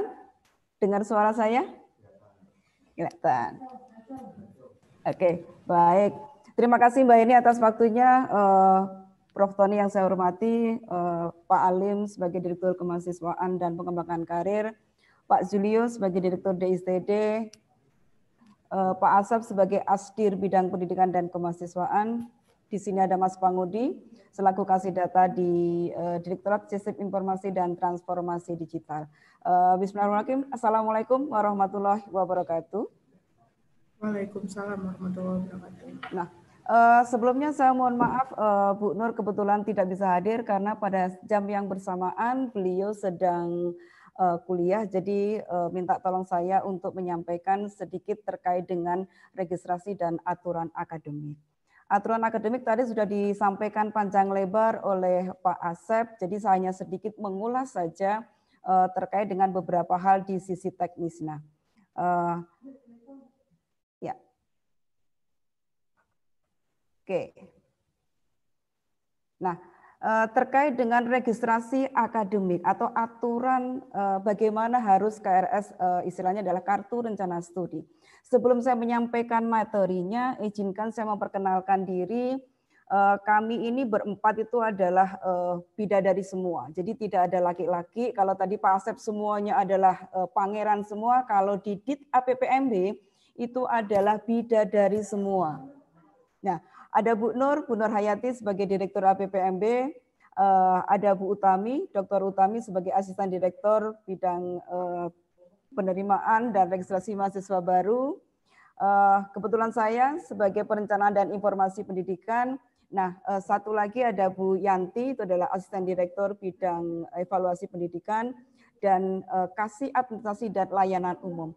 Jadi kalau di Direktorat APPMB itu dari input, proses, output itu semuanya adalah menjadi satu unit. Jadi dari misalkan kalau kalian masuk berarti kan harus registrasi ulang, daftar dan lain sebagainya itu adalah di sisi input, ya kan? Nah, setelah registrasi ulang, penjelasan dan lain sebagainya, masuklah ke sisi proses. Bagaimana KRS online, bagaimana penjadwalan, bagaimana cuti dan lain sebagainya itu adalah di sisi proses yang nanti akan sering berinteraksi dengan saya. Nah, setelah selesai empat tahun, kemudian adalah kalian di wisuda, masuklah ini ke bagian evaluasi. Di sini ada Bu Yanti yang menjadi asisten direkturnya. Jadi uh, input, proses, output menjadi satu di unit yaitu Direktorat Administrasi Pendidikan dan Penerimaan Mahasiswa Baru. Nah, ini saya yang tadi uh, diperankan oleh Pak Tony. Nah, uh, teman-teman dan adik-adik semua, pendidikan merupakan sebagai sebuah suatu sistem. Jadi saya bilang bahwa ada input, ada proses dan ada output. Jadi uh, kalau awal tadi, misalkan pertama kali kalian masuk berarti ada student intake-nya ada, ada kurikulum, ada tata tertib, ada fasilitas, dan di sisi proses itu adalah ada jadwal, registrasi, perkuliahan, ujian, cuti akademik, sanksi akademik, dan di sisi output ini adalah ada transkrip semester yang kalian nanti akan dapatkan di akhir semester. Karena ini adalah baru awal sehingga eh, di akhir semester nanti kalian akan mendapatkan transkrip semester yang isinya nanti nilainya mudah-mudahan semuanya adalah A. Jadi 4.0 seperti itu. Nah, berikutnya adalah yang terkait dengan registrasi akademik. Registrasi akademik adalah penyusunan rencana studi yang dilakukan melalui pengisian KRS online. Nah, Hebatnya 57 tadi disampaikan oleh Pak Tony adalah ada rumus Lailan. Nah, sekarang adalah hebatnya angkatan 57 ini semester 1 itu adalah KRS-nya adalah langsung diberikan atau langsung diisikan melalui database. Sehingga pada di IPB mobile kalian itu sudah terdistribusi jadwal kalian. Kalian bisa lihat di jadwal saya kalau disimak itu ada di IPP Mobil itu di akademik itu juga ada jadwal saya sehingga kalian tidak harus mengisi KRS online satu ngambil mata kuliah disimpan itu tidak. Hanya nanti pengisian KRS online-nya itu adalah di semester 2. Mudah-mudahan akan ketemu saya lagi yang nanti akan dijelaskan lebih lanjut terkait dengan pengisian KRS online-nya di semester 2. Nah, pengisian KRS online-nya adalah wajib dan harus dilaksanakan. Kenapa demikian? Iya, karena yang kalian ikuti, misalkan adalah hari Senin, misalkan kalian mengikuti mata kuliah fisika saintek misalkan atau biologi dasar, berarti ini kan harus ada jadwalnya sehingga mata kuliah ini harus diambil dan harus masuk ke dalam sistem informasi akademik atau kalau kakak kelas kalian menyebutnya adalah SIMAK IPB. Nah, harus dilakukan karena nanti nilai kalian yang sudah kalian ikuti selama satu semester ini adalah akan di-upload, akan di-input ke simak.ipb.ac.id sehingga terintegrasi ke IPB mobile kalian. Jadi semuanya adalah serba on hand sehingga uh, apa pun informasi itu ada di IPB mobile uh, for student. Nah, dilaksanakannya kapan? Itu adalah di awal semester ganjil tadi saya sampaikan eh, bahwa semester ganjil ini untuk angkatan 57 itu adalah sangat-sangat spesial karena tidak harus KRS, kami bypassing database dan datanya adalah sudah terdistribusi bahwa saya misalkan Jason atau misalkan Michael atau misalkan Painem misalkan, oh ternyata saya kuliahnya adalah di hari Senin tanggal sekian, semua sudah terdistribusi di IPB Mobile atau di simak.ipp.ac.id. Harapannya adalah nanti pada semester genap kalian akan melakukan pengisian KRS online sendiri. Tapi tidak perlu khawatir, nanti akan dipandu, nanti ada tata caranya, nanti akan ada uji cobanya. Biasanya kalau uh, tahun lalu itu adalah kita kumpulkan, mudah-mudahan pandemi adalah sudah uh, segera berakhir ya Bapak Ibu semuanya dan adik-adik semua sudah berakhir sehingga kita bisa ketemu, bisa kumpul dan bisa Eh, berdiskusi dan bertatap muka dan uji coba terkait dengan KRS online ini. Nah, tadi disampaikan oleh Pak Tony dan Pak Asep bahwa perkuliahan menggunakan online. Perlu diingat bahwa Bogor merupakan waktu Indonesia Barat. Sehingga perkuliahannya adalah mengikuti waktu Indonesia Barat bukan mengikuti waktu Indonesia Timur atau waktu Indonesia Tenggara. Misalkan Perkuliahan di Bogor adalah pukul 8. Berarti di Wita itu adalah pukul 9 dan di Wit adalah pukul 10. Jadi mohon diperhatikan jangan sampai nanti keenakan asik tidur, asik main game ternyata oh saya harus kuliah ternyata adalah telat. Ya. Jadi waktu perkuliahan dan ujian itu adalah menggunakan waktu Indonesia Barat. Ya, sekali lagi waktu Indonesia Barat bukan waktu Indonesia Timur. Ya, itu yang perlu dicatat oleh adik-adik eh, semua. Nah, setelah kalian mengikuti perkuliahan selama empat eh, tujuh pertemuan, eh, tidak usah khawatir, pasti ada UTS, ada UAS. Tadi kan disampaikan oleh Pak Asep bahwa ada ujian online, ada eh, UAS online. Nah, UTS-nya ini adalah mudah-mudahan adalah tidak bergeser. Ini adalah 26 Oktober 2020. Jadwalnya nanti akan terdistribusi di IPB Mobile. Jadi teman-teman dan adik-adik semua tidak perlu khawatir kok jadwal saya nggak ada itu tenang. Itu masih lama. Masih ini kan masih September, Oktober masih dua bulan lagi lah. Masih masih jauh. Belanda masih jauh. Yang kedua adalah UAS online. UAS online ini adalah ketika kalian sudah uh, liburan terus uh, sudah kan karena dari pemerintah adalah menggunakan liburannya adalah dialihkan ke Desember, liburan panjang, kalian mau nggak mau harus ujian uh, akhir semester uh, eh, 11 Januari kalau tidak salah. Sehingga nanti eh, UTS dan UAS merupakan satu rangkaian kegiatan yang harus dilakukan oleh uh, mahasiswa. Mudah-mudahan tadi sampaikan di awal adalah nilainya semuanya adalah A, tidak ada rantai karbon yang tadi disampaikan oleh Pak Asep. No way rantai karbon, mudah-mudahan sih tidak.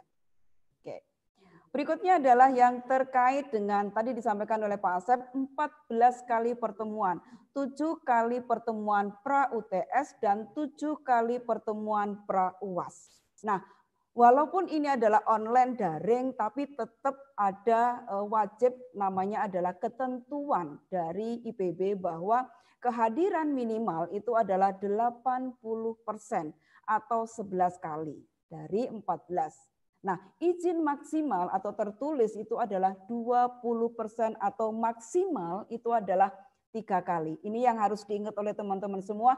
Jangan sampai nanti uh, sudah apa istilahnya sudah keenakan oh ternyata saya sudah tiga oh ternyata saya baru dua uh, semuanya adalah ada batas minimal dan batas maksimalnya nah uh, terkait dengan uh, tadi saya sampaikan di awal bahwa sistem informasi akademik ini adalah dikembangkan oleh Direktorat Sistem Informasi dan Transformasi Digital. Saya ingin sedikit sharing terkait dengan uh, SIMAK, uh, apa saja yang ada di SIMAK. Uh, saya mohon izin menggunakan akun mahasiswa baru angkatan 57 agar supaya kalian bisa memahami betul oh ternyata yang disampaikan kemarin di pada saat penjelasan itu benar adanya. Jadi saya mohon izin saya tadi menggunakan akunnya uh, anak agronomi kalau tidak salah. Uh, bisa disimak di video ini.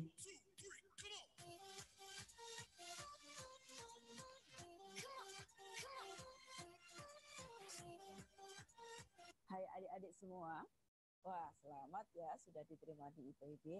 Selamat belajar di new normal tatanan baru melalui perkuliahan online. Tetap semangat dan lakukan yang terbaik. Saya ingin menjelaskan sedikit terkait dengan SIMAK, Sistem Informasi Akademik IPB.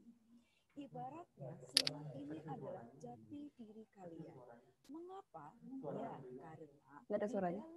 dalam simak tercantum biodata KRS, rekapitulasi nilai pembayaran SPP, evaluasi proses belajar mengajar, jadwal dan gimana? Uh, pembayaran ada. SPP. Kelihatan nggak? Nah, kalian sudah punya tinggal sign on satu akun untuk semua kedengeran nggak? Sehingga user akses atau user kedengeran nggak? tidak nggak. kedengeran bu. oleh orang lain ya. Nggak kedengeran. Hati untuk di sini ya di sini. ya. Nah kalian bisa akses simak pada laman simak.ipp.ac.id kedengeran. Bu tapi kecil. Iya nggak kedengeran ya? kedengeran bu tapi kecil. Kecil ya? Sudah pernah Tidak apa-apa Bu, nanti dilanjut saja. Ya, Mungkin okay, nanti. Okay.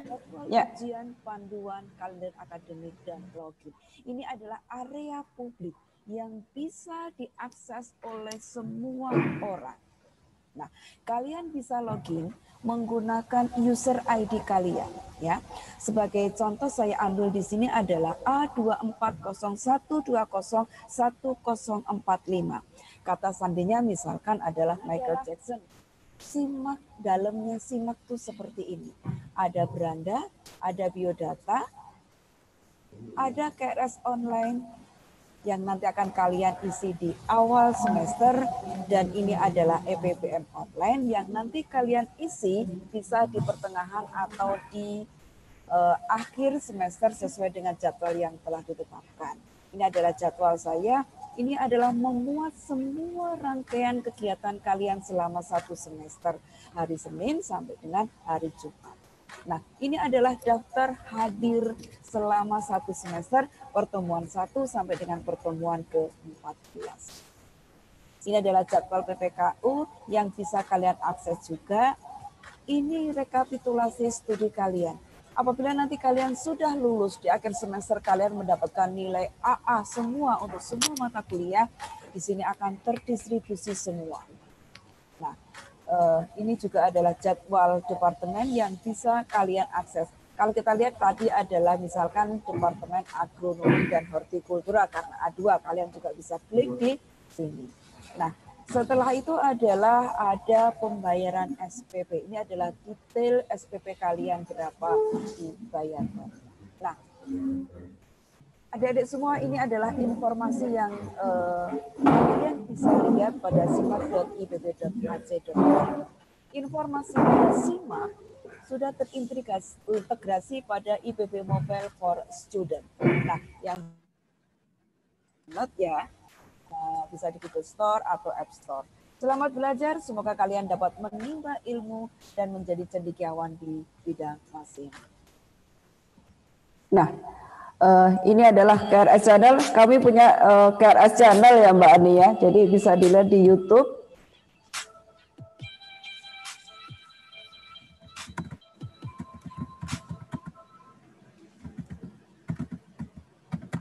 Iya, uh, terkait dengan bagaimana nanti pengisian KRS nanti saya akan sampaikan uh, dalam sesi tersendiri karena ini saya harus me, harus eh, live. Jadi istilahnya adalah saya harus uji coba menggunakan akun mahasiswa baru. Jadi tidak saat ini karena saat ini KRS uh, adik-adik semua sudah didistribusi sudah di bypassing menggunakan database. Sehingga nanti pada saat KRS itu adalah nanti di semester genap nanti akan ada sesi tersendiri di uh, apa yang akan kami sampaikan. Nah, silakan subscribe uh, ada KRS IBB Channel. Nanti informasi semua ada di uh, eh, KRS uh, eh, IBB Channel mudah-mudahan. Dan mudah-mudahan ini adalah wisuda. Kenapa saya tayangkan gambar wisuda? Ini agar supaya sebagai penyemangat adik-adik semua segera lulus di empat, uh, empat tahun. Jadi tepat waktu sehingga nanti ketemu dengan Uh, mudah-mudahan masih Pak reflektornya dan ketemu dengan kami-kami semua di sini. Terima kasih Mbak Heni. Ini yang bisa saya sampaikan. Uh, mudah-mudahan uh, bermanfaat buat adik-adik semua. Apabila masih ada hal yang kurang atau misalkan ada yang uh, kurang jelas bisa uh, nonton di YouTube. Uh, kami juga live uh, ada YouTube di KRS Channel bisa dilihat di YouTube uh, KRS uh, IPB uh, Channel. Demikian Mbak Eni. Terima kasih. Assalamualaikum warahmatullahi wabarakatuh. Waalaikumsalam warahmatullahi wabarakatuh. Baik, uh, sudah hadir di tengah-tengah kita. Selamat datang uh, Direktur Sistem Informasi dan Transformasi Digital, Bapak Julio Adi Santoso, MS. Uh, nanti ini langsung materi dengan Bapak ya, Pak? Insya Allah. Insya Allah, ya. Mungkin uh, dari teman-teman uh, sudah diperkenalkan mungkin uh, lebih awal dengan LMS melalui MPKMB uh, sudah mulai ada yang akses LMS. Uh, eh, apa saja sih sistem informasi yang ada di IPB? Mungkin eh, teman-teman uh, bisa uh, tahu lebih jauh uh, dari materi yang disampaikan oleh Pak Julio. Waktu dan tempat saya persilakan, Pak. Baik, uh, mudah-mudahan suara saya terdengar. Jelas, Pak. Yang saya hormati uh, Bapak Direktur BPKU, Pak Tony Bahtiar, kemudian Direktur Kemahasiswaan Pak Alim, uh, dan teman-teman uh, semua serta uh, para mahasiswa baru di PPKU. Saya akan sedikit menjelaskan ini uh, mungkin materi terakhir ya di sesi ini tentang bagaimana uh, IT di IPB beserta sistem informasinya. IT di IPB ini dikelola oleh direktorat yang bernama Direktorat Sistem Informasi dan Transformasi Digital. Uh, ada yang menyingkat di SITD, ada yang menyingkat sebagai Sintal. Mudah-mudahan adik-adik semua selalu sehat semua, Sintal. Oke, uh, tadi mungkin sudah disinggung oleh Bu Ratni bahwa semua mahasiswa IPB yang aktif, termasuk juga tendik dan dosen, itu memiliki apa yang disebut sebagai ID IPB. Jadi karena IPB sudah menerapkan single sign on atau SSO. Jadi melalui ID IPB ini Anda bisa mengakses semua sistem yang ada di IPB. Jadi SIMA, kemudian LMS, dan berbagai aplikasi-aplikasi yang lain, IPB Mobile for Student, IPB 2D semuanya itu ada di menggunakan single sign on yang melalui ID IPB ini. Jadi ID IPB ini memiliki dua fungsi. Yang pertama sebagai uh, autentifikasi. Jadi kalau autentifikasi itu untuk melihat apakah pemiliknya atau Anda yang masuk itu betul-betul uh, sebagai mahasiswa IPB yang aktif. Nah, kemudian yang berikutnya adalah autorisasi. Kalau autorisasi itu dengan status sebagai mahasiswa, saya boleh mengakses sistem apa saja. Oleh karena itu eh, IDPB itu mohon di apa ya dijaga di apa di di apa di apa di diaman-amankan karena sistem ini akan mencatat semua aktivitas internet sivitas akademika IPB. Jadi di mana-mana pengguna internet itu pasti tercatat oleh uh, provider yang digunakan. Jadi apa pun yang Anda lakukan itu tercatat kalau Anda menggunakan provider Telkomsel, tercatat di Telkomsel. Kalau Anda nanti menggunakan uh, jaringan IPB, Anda tercatat di IPB. Anda menggunakan ID IPB masuk ke sistem akan tercatat oleh sistem di IPB. Oleh karena itu pergunakanlah dengan bijak karena eh, ID IPB yang Anda miliki ini itu bisa mengakses apa saja. Jadi jaga selalu user ID IPB dan jangan memberikan username dan password kepada siapa pun. Itu yang perlu di, di, di apa ditangani. Kemudian di dalam user di dalam ID IPB ini itu juga ada fitur apabila Anda itu lupa password. Kalau lupa password itu Anda masuk kepada sebuah aplikasi tertentu namanya Apps IPB ACID dan nanti Anda akan dipandu bagaimana untuk mereset password. Tapi ada satu fitur yang bahaya yaitu eh, menyediakan email alternatif. Nah, ini tolong dijaga betul karena sudah ada beberapa pihak yang memanfaatkan fitur ini untuk menggunakan user ID Anda. Jadi tolong jaga selalu ini dan mungkin uh, apa hal-hal yang terkait dengan IDPB itu mohon diamankan. Ini berbagai aplikasi yang sudah menjadi etalase IPB dan ini menjadi keunggulan IPB. Saya kira tidak semua perguruan tinggi memiliki apps yang demikian banyak. Dan yang satu yang terkait dengan Anda adalah IPB Mobile for Student. Jadi IPB Mobile untuk mahasiswa. Saya kira adik-adik semua sudah bisa menginstall karena semua informasi akan ada di situ tadi sudah disampaikan oleh Bu Ratni, mulai dari eh, jadwal kuliah, kemudian bimbingan, bahkan kemudian nanti adalah untuk klaim, keluhan, saran, dan segala macam pertanyaan, itu bisa disampaikan di IPB Mobile for Student.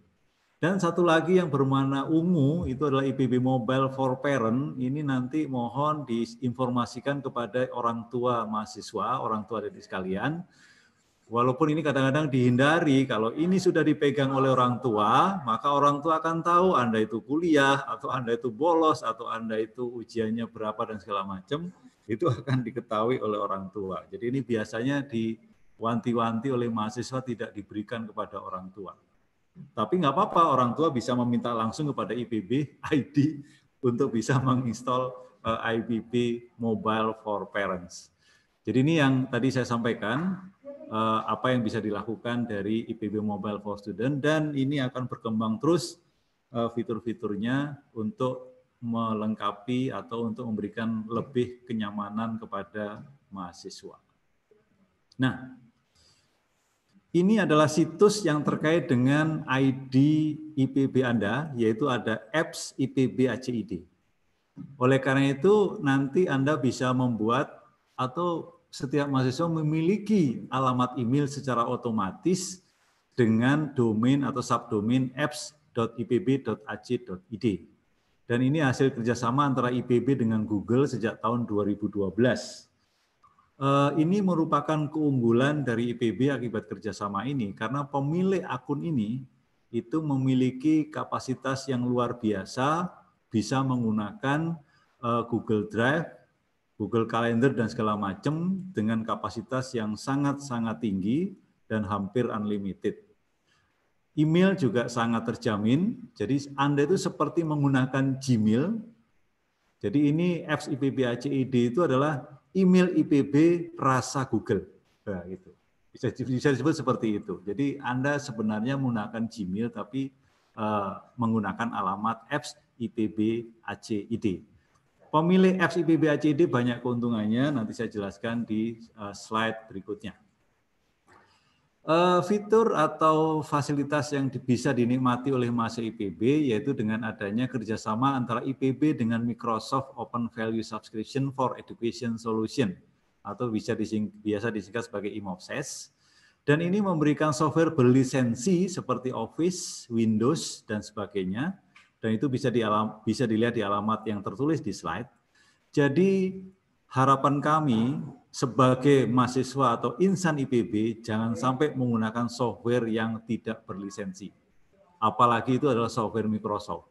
Harus berlisensi karena sudah disediakan dan uh, mulai beberapa waktu sebelumnya uh, Microsoft sudah menyediakan Office 365 A1 for Student. Jadi ini sebuah lingkungan cloud Microsoft yang bisa dimanfaatkan oleh mahasiswa jadi yang yang memiliki koneksi internet bisa menggunakan Office berbasis 365 dengan menggunakan internet atau basisnya web. Seperti Anda menggunakan Google Drive, Google Doc, dan sebagainya. Dan ini adalah sangat bermanfaat untuk uh, collaboration di antara uh, kalian. Kemudian beberapa sisi informasi tadi sudah dijelaskan oleh Bu Ratni, SIMA IPB ACID, saya lewatkan saja. Kemudian mau info beasiswa, mau melaporkan prestasi dan segala macam bisa masuk ke Simawa IPB ACID. Dan untuk masuk ke semua sistem ini jangan lupa tadi ID IPB dan password yang harus Anda uh, perhatikan. E-learning ada new LMS, ada course, ipb.ac.id, ada akses.ipb.ac.id untuk ujian, dan ini sudah bisa Anda masuki dengan menggunakan ID IPB yang Anda miliki. Kemudian IPB juga memiliki repository.ipb.ac.id dan ini merupakan repositori pada saat tahun 2017 meraih peringkat eh, pertama se-Asia Tenggara sebagai repositori terbaik dan ini berisi skripsi-skripsi, disertasi, tesis, semua karya ilmiah IPB bisa dibuka di sini dan bisa ditelusur dengan mudah sehingga Anda bisa memiliki knowledge uh, storage yang sangat bermanfaat.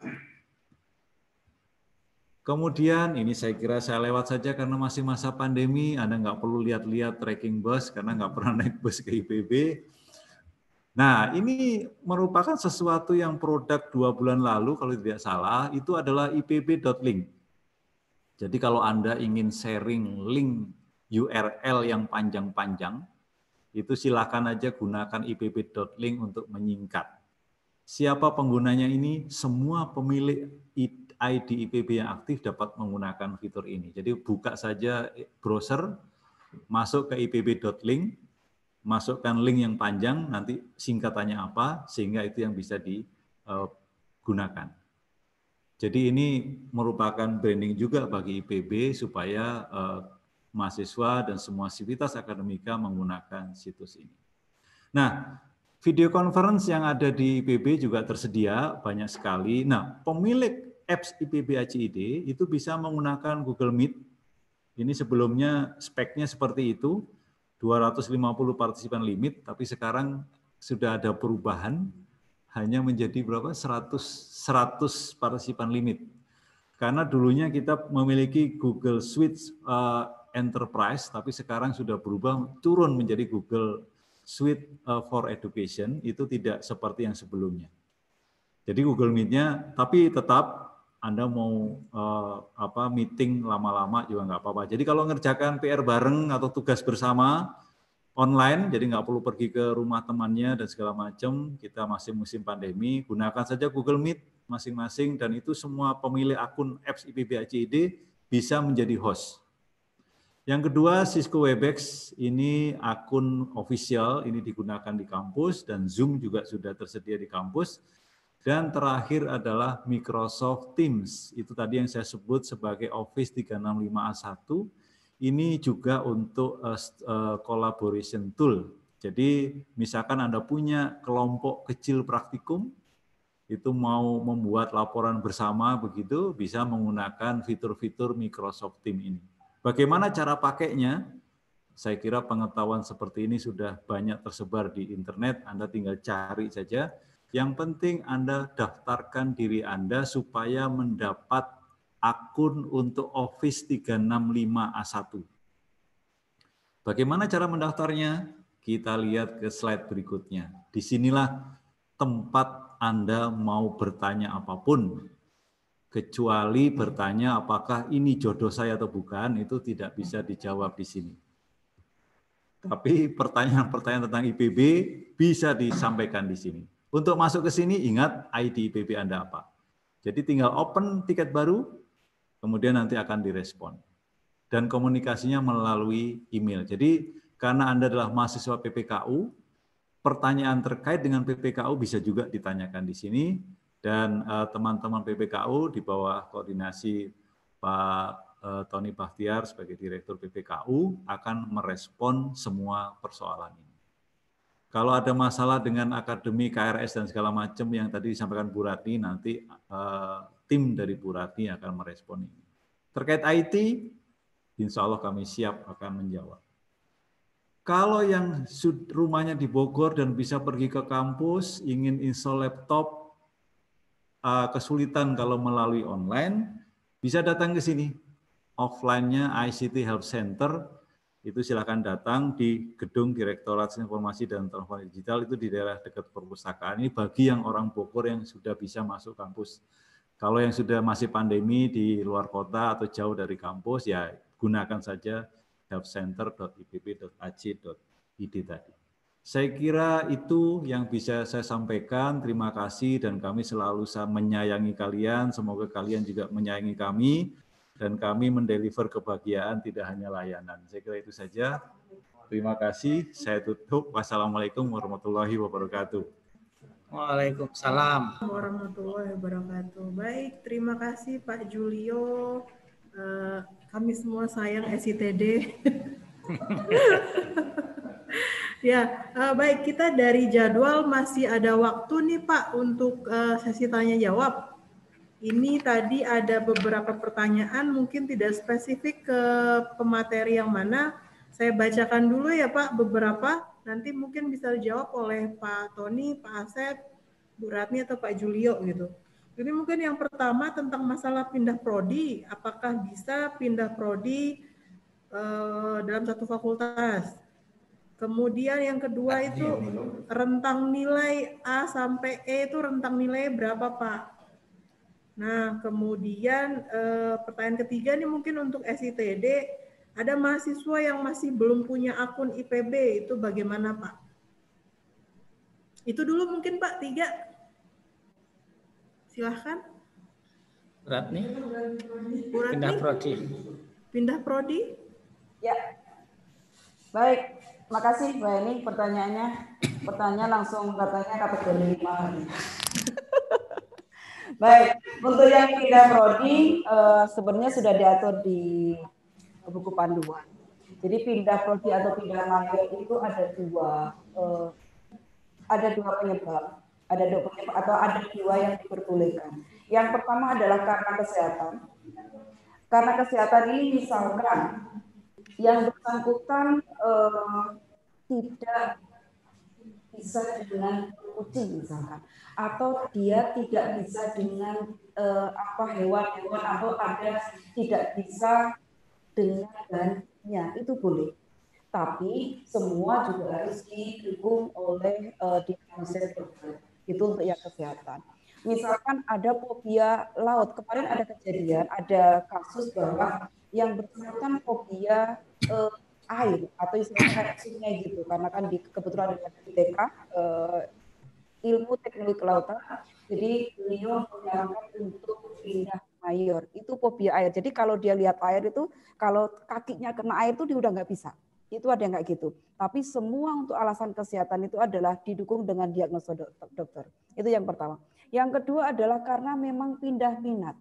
Nah kalau pindah minat ini ini adalah uh, yang bersangkutan harus lulus PPKU terlebih dahulu. Ya, harus lulus PPKU terlebih dahulu dan harus ikut tes SBMPTN, tidak dengan SNPTN. Jadi SBMPTN. Jadi dia harus utuh ujian tulis atau misalkan kalau ujian online. Jadi ada dua nih Mbak ini. Jadi yang pertama adalah karena kesehatan, yang kedua adalah karena memang dia pindah minat itu boleh diperbolehkan. Nah, persyaratannya atau tata caranya seperti apa? Sama. Kalau misalkan dia adalah karena kesehatan, berarti kan pengajuan ini adalah dilakukan oleh dekan, ya, dekan kepada rektor ya. Nanti uh, akan misalkan uh, disampaikan misalkan oh saya pindah mayornya adalah ke dekan A dari dekan A ke dekan B misalkan. Itu uh, disampaikan saja secara resmi dari yang yang dekan. Itu kalau alasan kesehatan dilampirkan dengan surat pendukung dokter. Itu untuk yang kesehatan.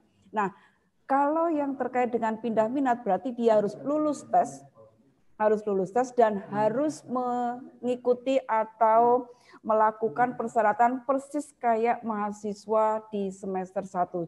Dia juga harus daftar ulang, dia harus mendapatkan NIM baru dan lain sebagainya. Karena kita nggak tahu yang bersangkutan ini adalah pindah mayor atau bukan. Nah, ketika tahu itu kan berarti kan dia melapor, oh ternyata saya adalah pindah mayor. Seperti itu sih Mbak Eni terkait dengan yang pindah mayor ini diperbolehkan.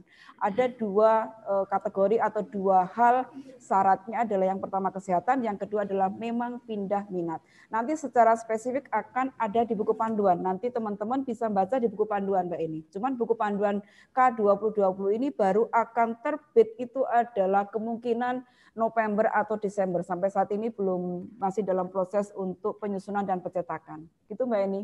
Baik, terima kasih Bu Ratni. Mungkin tadi rentang nilai Pak Tony mungkin bisa dibantu. Kemudian pertanyaan yang ke... kedua tentang rentang nilai, Pak. Oh, rentang nilai. Baik, terima kasih Mbak Eni. Rentang nilai ini berbeda antara satu mata kuliah dengan mata kuliah yang lain. Jadi biasanya di awal perkuliahan nanti uh, dosen yang mengajar Anda akan menyampaikan kontrak perkuliahan atau kontrak belajar. Di sana salah satu poinnya adalah membicarakan rentang nilai ini. Jadi yang dapat A, AB, B dan seterusnya ini akan dijelaskan di kontrak tersebut. Tapi bisa saya beri contoh yang paling umum diacu oleh banyak mata kuliah itu adalah eh, A itu 80 ke atas, kemudian AB itu 70 ke atas, kemudian B itu 60 dan seterusnya begitu ya. Tetapi untuk mata kuliah matematika dan berpikir logis mungkin bukan di atas 80 tetapi di atas 75 begitu. Jadi setiap mata kuliah mungkin memiliki rentang nilai yang berbeda-beda. Jadi Anda harus pastikan Anda memahami kontrak perkuliahan yang dibuat oleh mata kuliah tersebut. Kemudian Anda ingat-ingat ya. Saya kira itu jawaban saya. Baik, terima kasih Pak. Terima kasih. Berarti eh, kontrak ya Eh, teman-teman harus hadir tuh pada pada saat pertemuan pertama. Jadi uh, paham uh, kontrak perkuliahan dari dosennya. Kemudian yang ketiga tadi Pak Julio pertanyaannya tentang ada mahasiswa yang belum punya akun. Oke, ya uh, terima kasih. Jadi untuk yang belum memiliki akun ini uh, tergantung kasusnya. Jadi semua mahasiswa yang sudah aktif itu dipastikan memiliki akun atau ID BB. Kalau lupa password atau bermasalah dengan akun tersebut, itu silakan bertanya melalui helpcenter.ibb.ac.id. Tapi ada kasus, terutama mahasiswa baru, yang masih bermasalah dengan proses administrasinya. Apakah pembayarannya belum beres, ataukah ada penundaan-penundaan tertentu, ada syarat-syarat administrasi yang belum bisa diselesaikan, sehingga belum dimasukkan ke dalam database IPB, maka yang bersangkutan memang belum memiliki ID IPB. Jadi untuk kasus yang ini silakan saja dituliskan di Hub Center juga nggak apa-apa. Nanti akan diarahkan ke BPKU. Tapi mohon dituliskan uh, kalau sudah beres semua uh, persoalannya, tapi ID IPB-nya tidak punya, tuliskan. Tapi kalau bilang saya belum bisa masuk ke masuk ke belum punya ID IPB dan saya kebetulan punya masalah administrasi bla bla bla itu tolong dituliskan supaya kami bisa mudah menelusurinya. Saya kira itu saja, Mbak Eni. Makasih. Baik, baik. Uh, terima kasih, Pak. Ini mungkin sesi kedua. Ini ada pertanyaan tentang eh, IPK dan jalur masuk. Apakah ada hubungannya nanti pada saat evaluasi eh, IPK dan jalur masuk? Kemudian uh, yang kedua itu tentang jadwal kuliah PPKU. Apakah cuma empat hari jadwal kuliah PPKU? Dan yang ketiga ini tentang kaitannya tentang SKS PPKU nih, PPKU yang disimak. Apakah uh, kenapa itu beda-beda? Jadi ada yang satu kelas saya, satu departemen, tapi ada yang 20 SKS, ada yang 22 dan sebagainya. Nah, terus pertanyaan tentang Microsoft Teams tadi ini Pak, apakah Microsoft Teams juga mendapatkan fasilitas cloud penyimpanan seperti uh, eh, APPS. Baik. Itu mungkin. Oke, mungkin saya dulu ya jawabnya. Ya, uh, baik, terima kasih. Jadi untuk Microsoft Teams tadi yang terakhir, uh, sekali lagi untuk mengajukan itu uh, apa uh, harus mendaftarkan di Help Center BCD. Kemudian uh, kalau sudah memiliki A1 Office 365 A1 itu saya kira sudah memiliki fitur uh, untuk menyimpan di cloud-nya uh, Microsoft apa? OneDrive, OneDrive, Microsoft OneDrive. Jadi sama seperti di Google Drive itu. Kalau versi Microsoft namanya OneDrive. Saya kira begitu. Makasih. Baik, baik Pak. Terima kasih. Sama-sama unlimited ya Pak? Kalau Google Drive kan unlimited. Kalau yang APPS. Uh, sudah off. Oke, berikutnya mungkin lanjut Pak tentang jadwal kuliah PPKU yang Baik. hanya uh, tadi saya mendapatkan uh, poinnya adalah adakah hubungan antara IPK dengan jalur masuk betul itu ya? Oh iya, itu itu juga. Kemudian sama SKS kok beda-beda ya? ya. Baik. Uh, yang pertama, IPK dan jalur masuk itu hanya uh, uh, apa uh, record dari kita saja ya. Jadi eh, jalur masuk IPB, IPB menerima mahasiswa berdasarkan beberapa jalur masuk ya tadi yang disampaikan oleh Pak Direktur. Ada yang dari SN, keundangan, ada yang SB, tes, ada ketua OSIS sekarang ya beberapa tahun terakhir ini. Kemudian ada UTM ya dan juga ada BUD, beasiswa utusan daerah. Nah, sebetulnya tidak ada pembedaan ya yang yang yang yang jelas eh, nanti pada proses pembelajaran itu adalah sama ya proses pembelajaran sama ya cuma nanti kita bisa juga me, membuat statistik ya statistik kalau misalnya berdasarkan e, jalur masuk ini rata-ratanya berapa? N-nya berapa? Misalnya kalau e, SN itu sekitar taruh misalnya 1500 nah ini nanti akan ketahuan ya berapa IPK-nya jadi Anda berkontribusi setiap jalur masuk untuk memberikan kontribusi apakah IPK-nya akan tinggi atau tidak seperti itu. Jadi tetap kewajibannya bukan berkontribusi terhadap jalur tapi apa eh, eh, tanggung jawab dari masing-masing mahasiswa. Cuma nanti kan bisa dilihat. tetap nanti di akhir yang dievaluasinya adalah uh, individu ya transkrip seperti itu ya ada selama dua semester itu IPK-nya berapa anda itu ya nanti akan dapat dicek ya di PB Mobile atau langsung ya seperti itu itu ya jadi tidak ada hubungannya ya sebetulnya.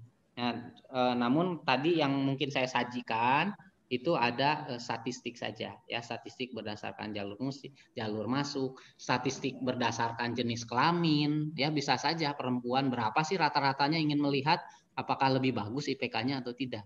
Statistik berdasarkan misalnya daerah bisa juga gitu. Cuman mungkin e, untuk statistik IPB saja record ya seperti itu. Kemudian SKS kenapa beda-beda ya SKS ini memang setiap prodi misalnya antara ST Science dengan sosial society apa uh, science and society. Ini berbeda ya. Karena apa? Kenapa yang uh, society and science atau SS ini rata-rata hanya misalnya 30 sampai 33 ya.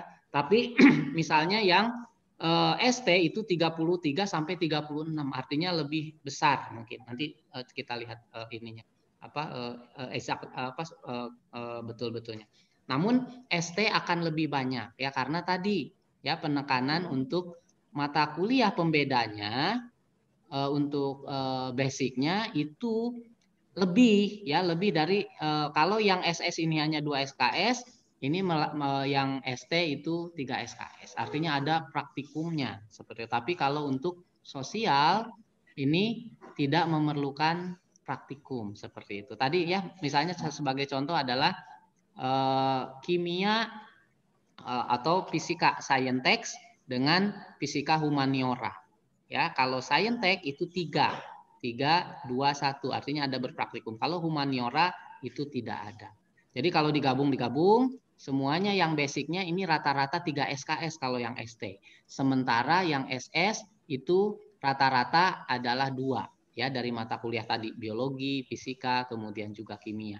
Ya, sehingga ketika dijumlah di akhir ini ada perbedaan sekitar 3 SKS. Ya, namun penekanan yang lain hal yang berbeda juga untuk sosial. Sosial karena memang memerlukan ekonomi yang lebih mendalam itu 3 SKS. Tapi kalau untuk saintek itu dua, tidak berpraktikum. Di situ letak perbedaannya ya eh, SKS itu. Tapi tetap nanti di di di departemen atau di fakultas ya itu akan ada mata kuliah mata kuliah yang akhirnya tetap nanti akan sebanyak 144 SKS untuk batas minimum dari program sarjana ini seperti itu ya hanya di PPKU saja yang agak berbeda demikian mungkin mudah-mudahan bisa menjawab baik terima kasih jadi kalau misalnya sudah masuk uh, eh, IPB sudah ini ya Pak sudah jadi mahasiswa IPB nih kalau misalnya udah masuk. Oke okay, baik, uh, mungkin ada ada lagi yang ingin menjawab? Apa udah terjawab semua tadi? Boleh nambahin sedikit? Baik baik Pak silakan. Uh, jadi salah satu apa ciri belajar di atau kuliah di perguruan tinggi itu adalah anda memiliki apa kebebasan, Anda memiliki keleluasaan juga kemandirian untuk merencanakan uh, perkuliahan Anda. Jadi nanti kalau Anda sudah naik ke tingkat 2, 3 atau 4, Anda pasti akan memiliki SKS yang berbeda-beda dengan teman Anda.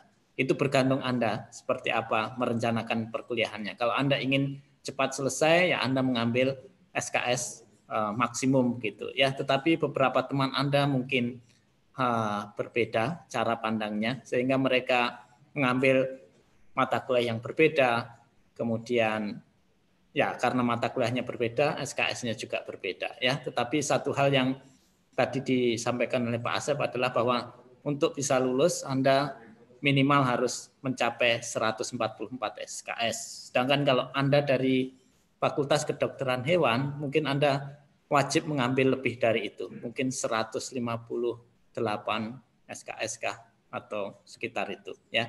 Jadi ya itu salah satu ciri uh, perkuliahan di perguruan tinggi ya. Anda punya kebebasan untuk merencanakan hmm, perkuliahan Anda. Demikian Bu Eni tambahan dari saya. Baik, terima kasih Pak. Ini mungkin tadi ada mahasiswa ingin bertanya nih tentang ini internasional. Silakan. Ini uh, Mas atau Mbak? Enggak ada suaranya. Uh, Assalamualaikum oh, warahmatullahi wabarakatuh. Waalaikumsalam warahmatullahi wabarakatuh. Uh, ini sebetulnya walinya ibu, bukan muridnya. Oh begitu, baik. Iya, baik. iya ini uh, ini karena posisi ini kan uh, adik saya ada di sini di Sydney, jadi uh, apps-nya itu tidak bisa kita akses dari sini. Itu yang pertama yang ingin saya saya tanyakan. Jadi udah saya uh, di iPhone maupun di Android itu nggak nggak bisa itu apps-nya tadi itu mobile apps-nya itu tadi. Yang kedua um, karena sejak karena sejak itu apa namanya lockdown itu memang uh, beliau ada di sini dan di, di Indonesia itu kebetulan jauh dari Bogor kita dari Banyuwangi jadi ya itu tadi uh, kalau kemungkinan tadi ada sudah dijawab tentang pindah uh, prodi tadi ya kalau misalkan kalau pindah program internasional itu seperti apa apakah mungkin karena alasan dengan alasan pandemi ini atau gimana? Ini masuknya lewat jalur SSN undangan. Itu dua mungkin dua pertanyaan itu Min ya. Baik, terima kasih, terima kasih. Silakan uh, mungkin ada yang bisa membantu menjawab. Uh, uh, saya agak kurang menangkap. Jadi akan pindah dari program dari, dari program reguler. Program reguler atau sebaliknya? Bukan, dari sebaliknya Pak, dari reguler ingin pindah ke program internasional. Oh. Saya kira ya seperti disampaikan oleh Bu Ratni tadi, perpindahan antar program itu ya bergantung pada kuota departemennya, kuota program studinya. Artinya harus ada persetujuan uh, dari apa? Dari program studi asal, kemudian ada pro, persetujuan dari program studi yang akan dituju. Baik. Uh, kemudian perpindahan itu ya kalau aturan apa defaultnya hanya boleh terjadi di setelah setelah tahun pertama. Jadi boleh pindahnya. Jadi PPKU masih ya Pak? Ya karena di PPKU mau program studinya apa itu mata kuliahnya relatif sama. Mungkin hanya ada perbedaan di beberapa mata kuliah saja. Mbak Heni, ya. tambahkan sedikit penjelasan Pak Tony. Mohon izin Pak Tony jadi eh, kalau pindah prodi dimungkinkan, akan tetapi tadi ditanyakan oleh Ibu Alfi adalah pindah jalur. Betul, kalau nggak salah tadi pindah jalur. Kalau pindah jalur itu adalah tidak dimungkinkan. Jadi yang misalkan jalur masuknya UTM, ya UTM, kelas internasional internasional, oh. uh, SBMPTN, SBMPTN. Kalau pindah misalkan reguler ke internasional, itu artinya ada biaya yang ditambahkan karena eh, SPP atau biaya UKT-nya itu adalah berbeda dengan yang reguler. Begitu. Nah, eh, kalau eh, reguler ke internasional eh, juga harus diberikan juga karena reguler misalkan UKT-nya adalah 12 juta, ternyata di internasional adalah misalkan 25 juta, berarti kan dua kali lipat. Itu mohon diperhitungkan juga seperti itu. Jadi apalagi yang kelas internasional ke reguler. Berarti kan darinya tadinya kan awalnya adalah 25 juta ke eh, misalkan ke 12 juta. Berarti kan ini kan turun, otomatis itu kan nggak bisa. Jadi eh, kalau misalkan pindah jalur itu agak sedikit eh, sepertinya kemungkinannya kecil sekali Mbak ini. Itu kalau pindah prodi karena ada dua syarat tadi diperbolehkan. Tapi kalau pindah jalur itu yang selama ini memang tidak diperkenankan di program studi sarjana. Baik, semoga bisa uh, menjawab ya Bu Alfi. Oke, okay, saya lanjutkan. Tadi ada pertanyaan itu Bu di di Q&A pembagian SS dan ST itu berdasarkan apa? Kemudian ap, uh, apakah apakah username username IPB itu dapat diubah atau tidak? Dan kemudian apakah untuk PPKU uh, jika nanti uh, sudah bisa offline gitu Pak kuliahnya, apakah mereka tetap harus masuk asrama atau tidak? Oke, baik saya jawab beberapa. Uh, yang pertama pembagian antara SD dan SS, saya kira tadi sudah disampaikan oleh Pak Asep, itu ditentukan oleh uh, program studi yang diambil, ya. Yang lebih mudah mungkin hanya SS ya. SS itu seluruh mahasiswa Fakultas Ekonomi Manajemen itu masuk SS, ditambah program studi uh, eh, SKPM, kemudian ditambah program studi ilmu keluarga dan konsumen, ditambah program studi bisnis. Jadi FEM dan tiga itu semuanya masuk uh, eh, SS, sedangkan selain itu masuk ST. Itu satu. Kemudian pertanyaan berikutnya apa tadi, Mbak? Uh, PPKU Pak, kalau misalnya nanti offline, oh offline, semester 2 gitu, apakah tetap harus masuk kuliah? Iya, eh, saya kira asrama, kita harus hati-hati karena ini masalah kesehatan. Jadi uh, eh, IPP akan terus memantau perkembangannya. Kalau sekiranya uh, apa diizinkan untuk apa offline begitu, ya kami akan mengaturnya mungkin tidak semua mahasiswa harus masuk asrama karena kalaupun dalam beberapa bulan sudah boleh offline, tetap saja kita harus berhati-hati menjaga jarak begitu. Jadi yang jelas itu belum diputuskan, tapi secara apa kasar begitu bisa saya sampaikan buat tidak semuanya akan masuk asrama. Kalau dalam waktu dekat ini Anda dibolehkan untuk datang ke kampus begitu.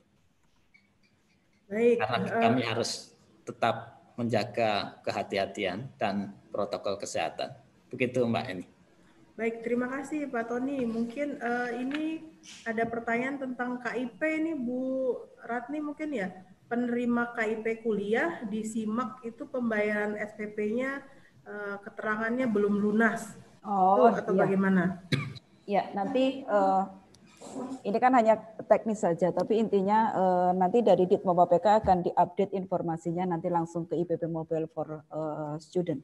Jadi nggak perlu khawatir uh, apa teman-teman atau adik-adik yang misalkan diterima di KIP ternyata di apa di IPP Mobile-nya adalah belum lunas itu tidak perlu khawatir. Yang, yang jelas tidak akan diblokir kok. Itu hanya masalah teknis aja nanti uh, apa data yang dari Ditma PK mungkin belum fix betul sehingga uh, apa perlu dilakukan uh, rekon terkait dengan uh, apa tadi KIP, bidik misi dan lain sebagainya. Jadi masih ada beberapa yang memang penerima bidik misi itu di IPP Mobile-nya adalah masih uh, terteranya adalah belum mas, tapi tidak perlu khawatir untuk itu. Baik, uh, terima kasih. Ganti user ID. Ganti user ID, user ID.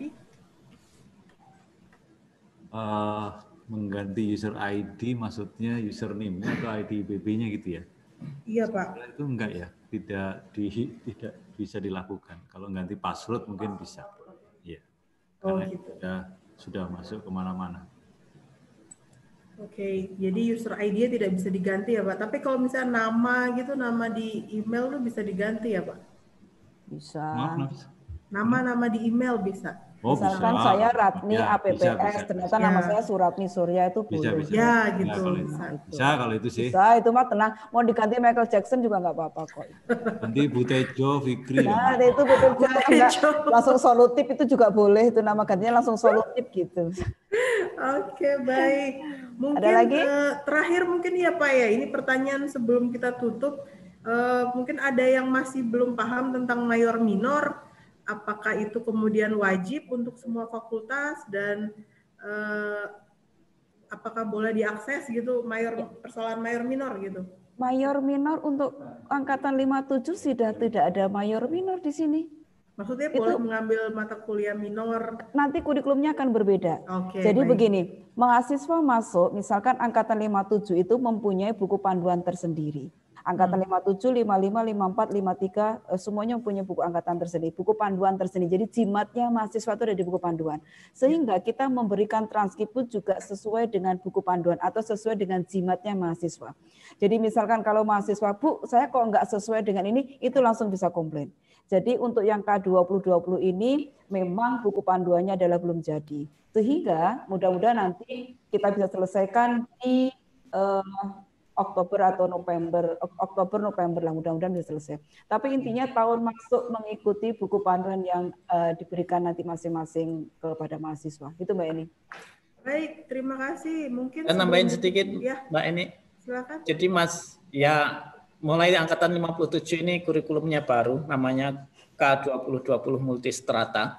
Jadi tidak ada lagi mayor minor, tetapi mahasiswa masih punya apa kesempatan begitu untuk mengambil beberapa mata kuliah di luar prodinya. Saya kira ada sampai 21 SKS begitu mahasiswa bisa uh, mengisinya dengan multi aktivitas. Jadi tidak ada 21 SKS yang bisa dimanfaatkan oleh mahasiswa untuk misalkan mengambil mata kuliah lain atau melakukan exchange students atau mengikuti berbagai kompetisi yang semuanya nanti akan di di apa dijadikan SKS, diklaim sebagai SKS begitu. Saya kira itu Bu Eni. Baik, makasih Prof Tony. Uh, mungkin sebelum kita tutup ada uh, mungkin penutup gitu ada ada tambahan dari Bapak dan Ibu yang ingin disampaikan kepada rekan-rekan mahasiswa. Dari saya cukup Bu. Cukup, baik Pak. Terima kasih dari Pak Dari Pak Alim mungkin. Pak Alim. Ya, baik. Eh, terima kasih ini Prof. Tony, eh, Pak Julio, Pak Asep, Bu Ratni yang sudah menjelaskan tentang akademik, ya PPKU, minat administrasi dan juga sistem informasi. Mungkin dari kemahasiswaan karena kegiatannya cukup banyak, jadi nanti eh, kami akan membuat eh, kegiatan sendiri, begitu sosialisasi kegiatan kemahasiswaan kepada para mahasiswa baru, karena yang akademik ini sudah mendesak, ya Prof. Tony ya, tanggal 7 sudah mulai, jadi eh, kita dahulukan. Nah, tadi seperti pertanyaan terkait dengan kurikulum 2020, mayor minor, eh, mungkin kalau teman-teman kemarin mengikuti, menyimak penjelasan Pak Derajat, Wakil Rektor 1 waktu MPKMB hari pertama yang sesi siang, itu eh, tadi disampaikan oleh Prof. Tony itu ada box ya enrichment courses yang eh, besarnya 21 SKS itu yang disebut sebagai flexible learning ya flexibility learning. Bagi mahasiswa bisa memilih eh, eh, aktivitasnya itu multiple. Jadi bisa mengambil mata kuliah eh, dari program studi yang lain. Eh, atau mengambil mata kuliah dari program studi yang sama dari perguruan tinggi yang lain, atau aktivitas lain selain mata kuliah. Jadi dengan kewirausahaan, dengan uh, kegiatan exchange student, summer course, uh, kemudian international mobility, kewirausahaan, dan sebagainya. Nah itu yang nanti akan banyak berkaitan dengan kegiatan kemahasiswaan, termasuk juga kompetisi, lomba-lomba, dan sebagainya.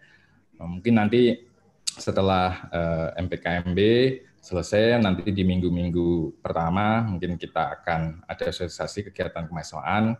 Nanti uh, saya juga mungkin akan mengajak uh, Prof Iskandar dari program internasional yang juga bisa menjelaskan dari sekarang uh, dari awal informasi-informasi program internasional yang bisa diikuti oleh para mahasiswa baru karena saya kira salah satu goals pendidikan di PP itu lulusannya punya wawasan global, ya, punya international exposure.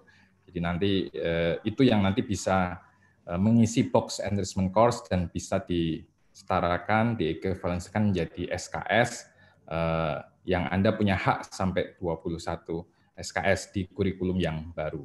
Jadi saya kira eh, ini memang spesial ya, seperti kata Prof. Tony, angkatan 57 ini yang pertama kali eh, apa mendapatkan implementasi dari kurikulum K2020. Nah, untuk hal-hal yang lain saya kira tadi sudah disampaikan oleh Bu Ratni terkait dengan eh, KIPK ya mahasiswa yang mungkin belum dapatkan akun, silahkan aja memanfaatkan help center.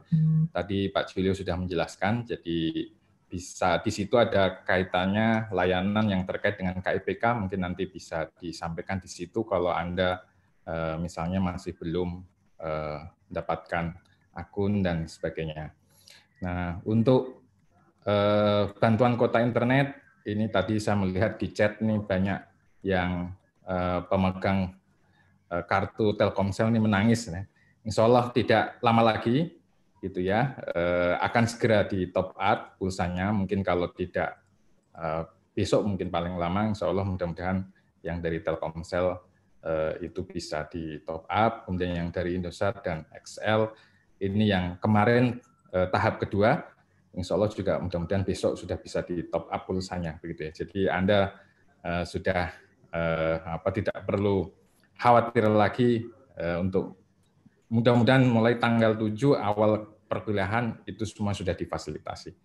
Eh, demikian mungkin Bu Eni. Jadi eh, untuk bidang kemahasiswaan saya kira eh, dan program internasional nanti kita akan cari waktu lagi biar kita bisa diskusi lebih banyak terkait juga mungkin ormawa. Tadi juga ada pertanyaan di chat begitu ya.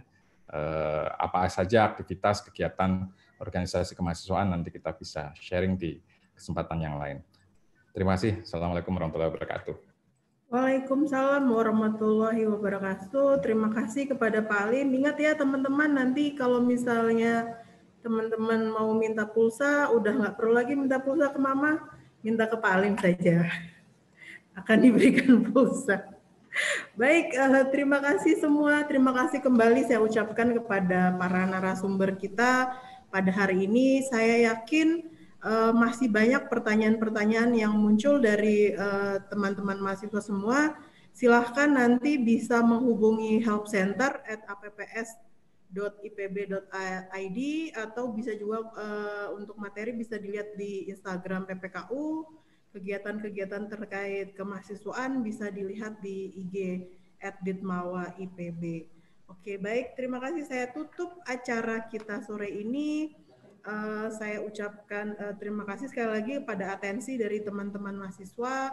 Sampai jumpa di acara berikutnya. Tetap sehat dan tetap semangat. Wassalamualaikum warahmatullahi wabarakatuh. Waalaikumsalam. Terima kasih Bu Eni. Terima kasih Bapak Ibu semua. Kita nggak foto nih. Foto dulu dong. Ya. Udahlah. Udah begini. Udah jadi. Udah saya foto kok tadi. Izin live ya, izin live. Ya, siap.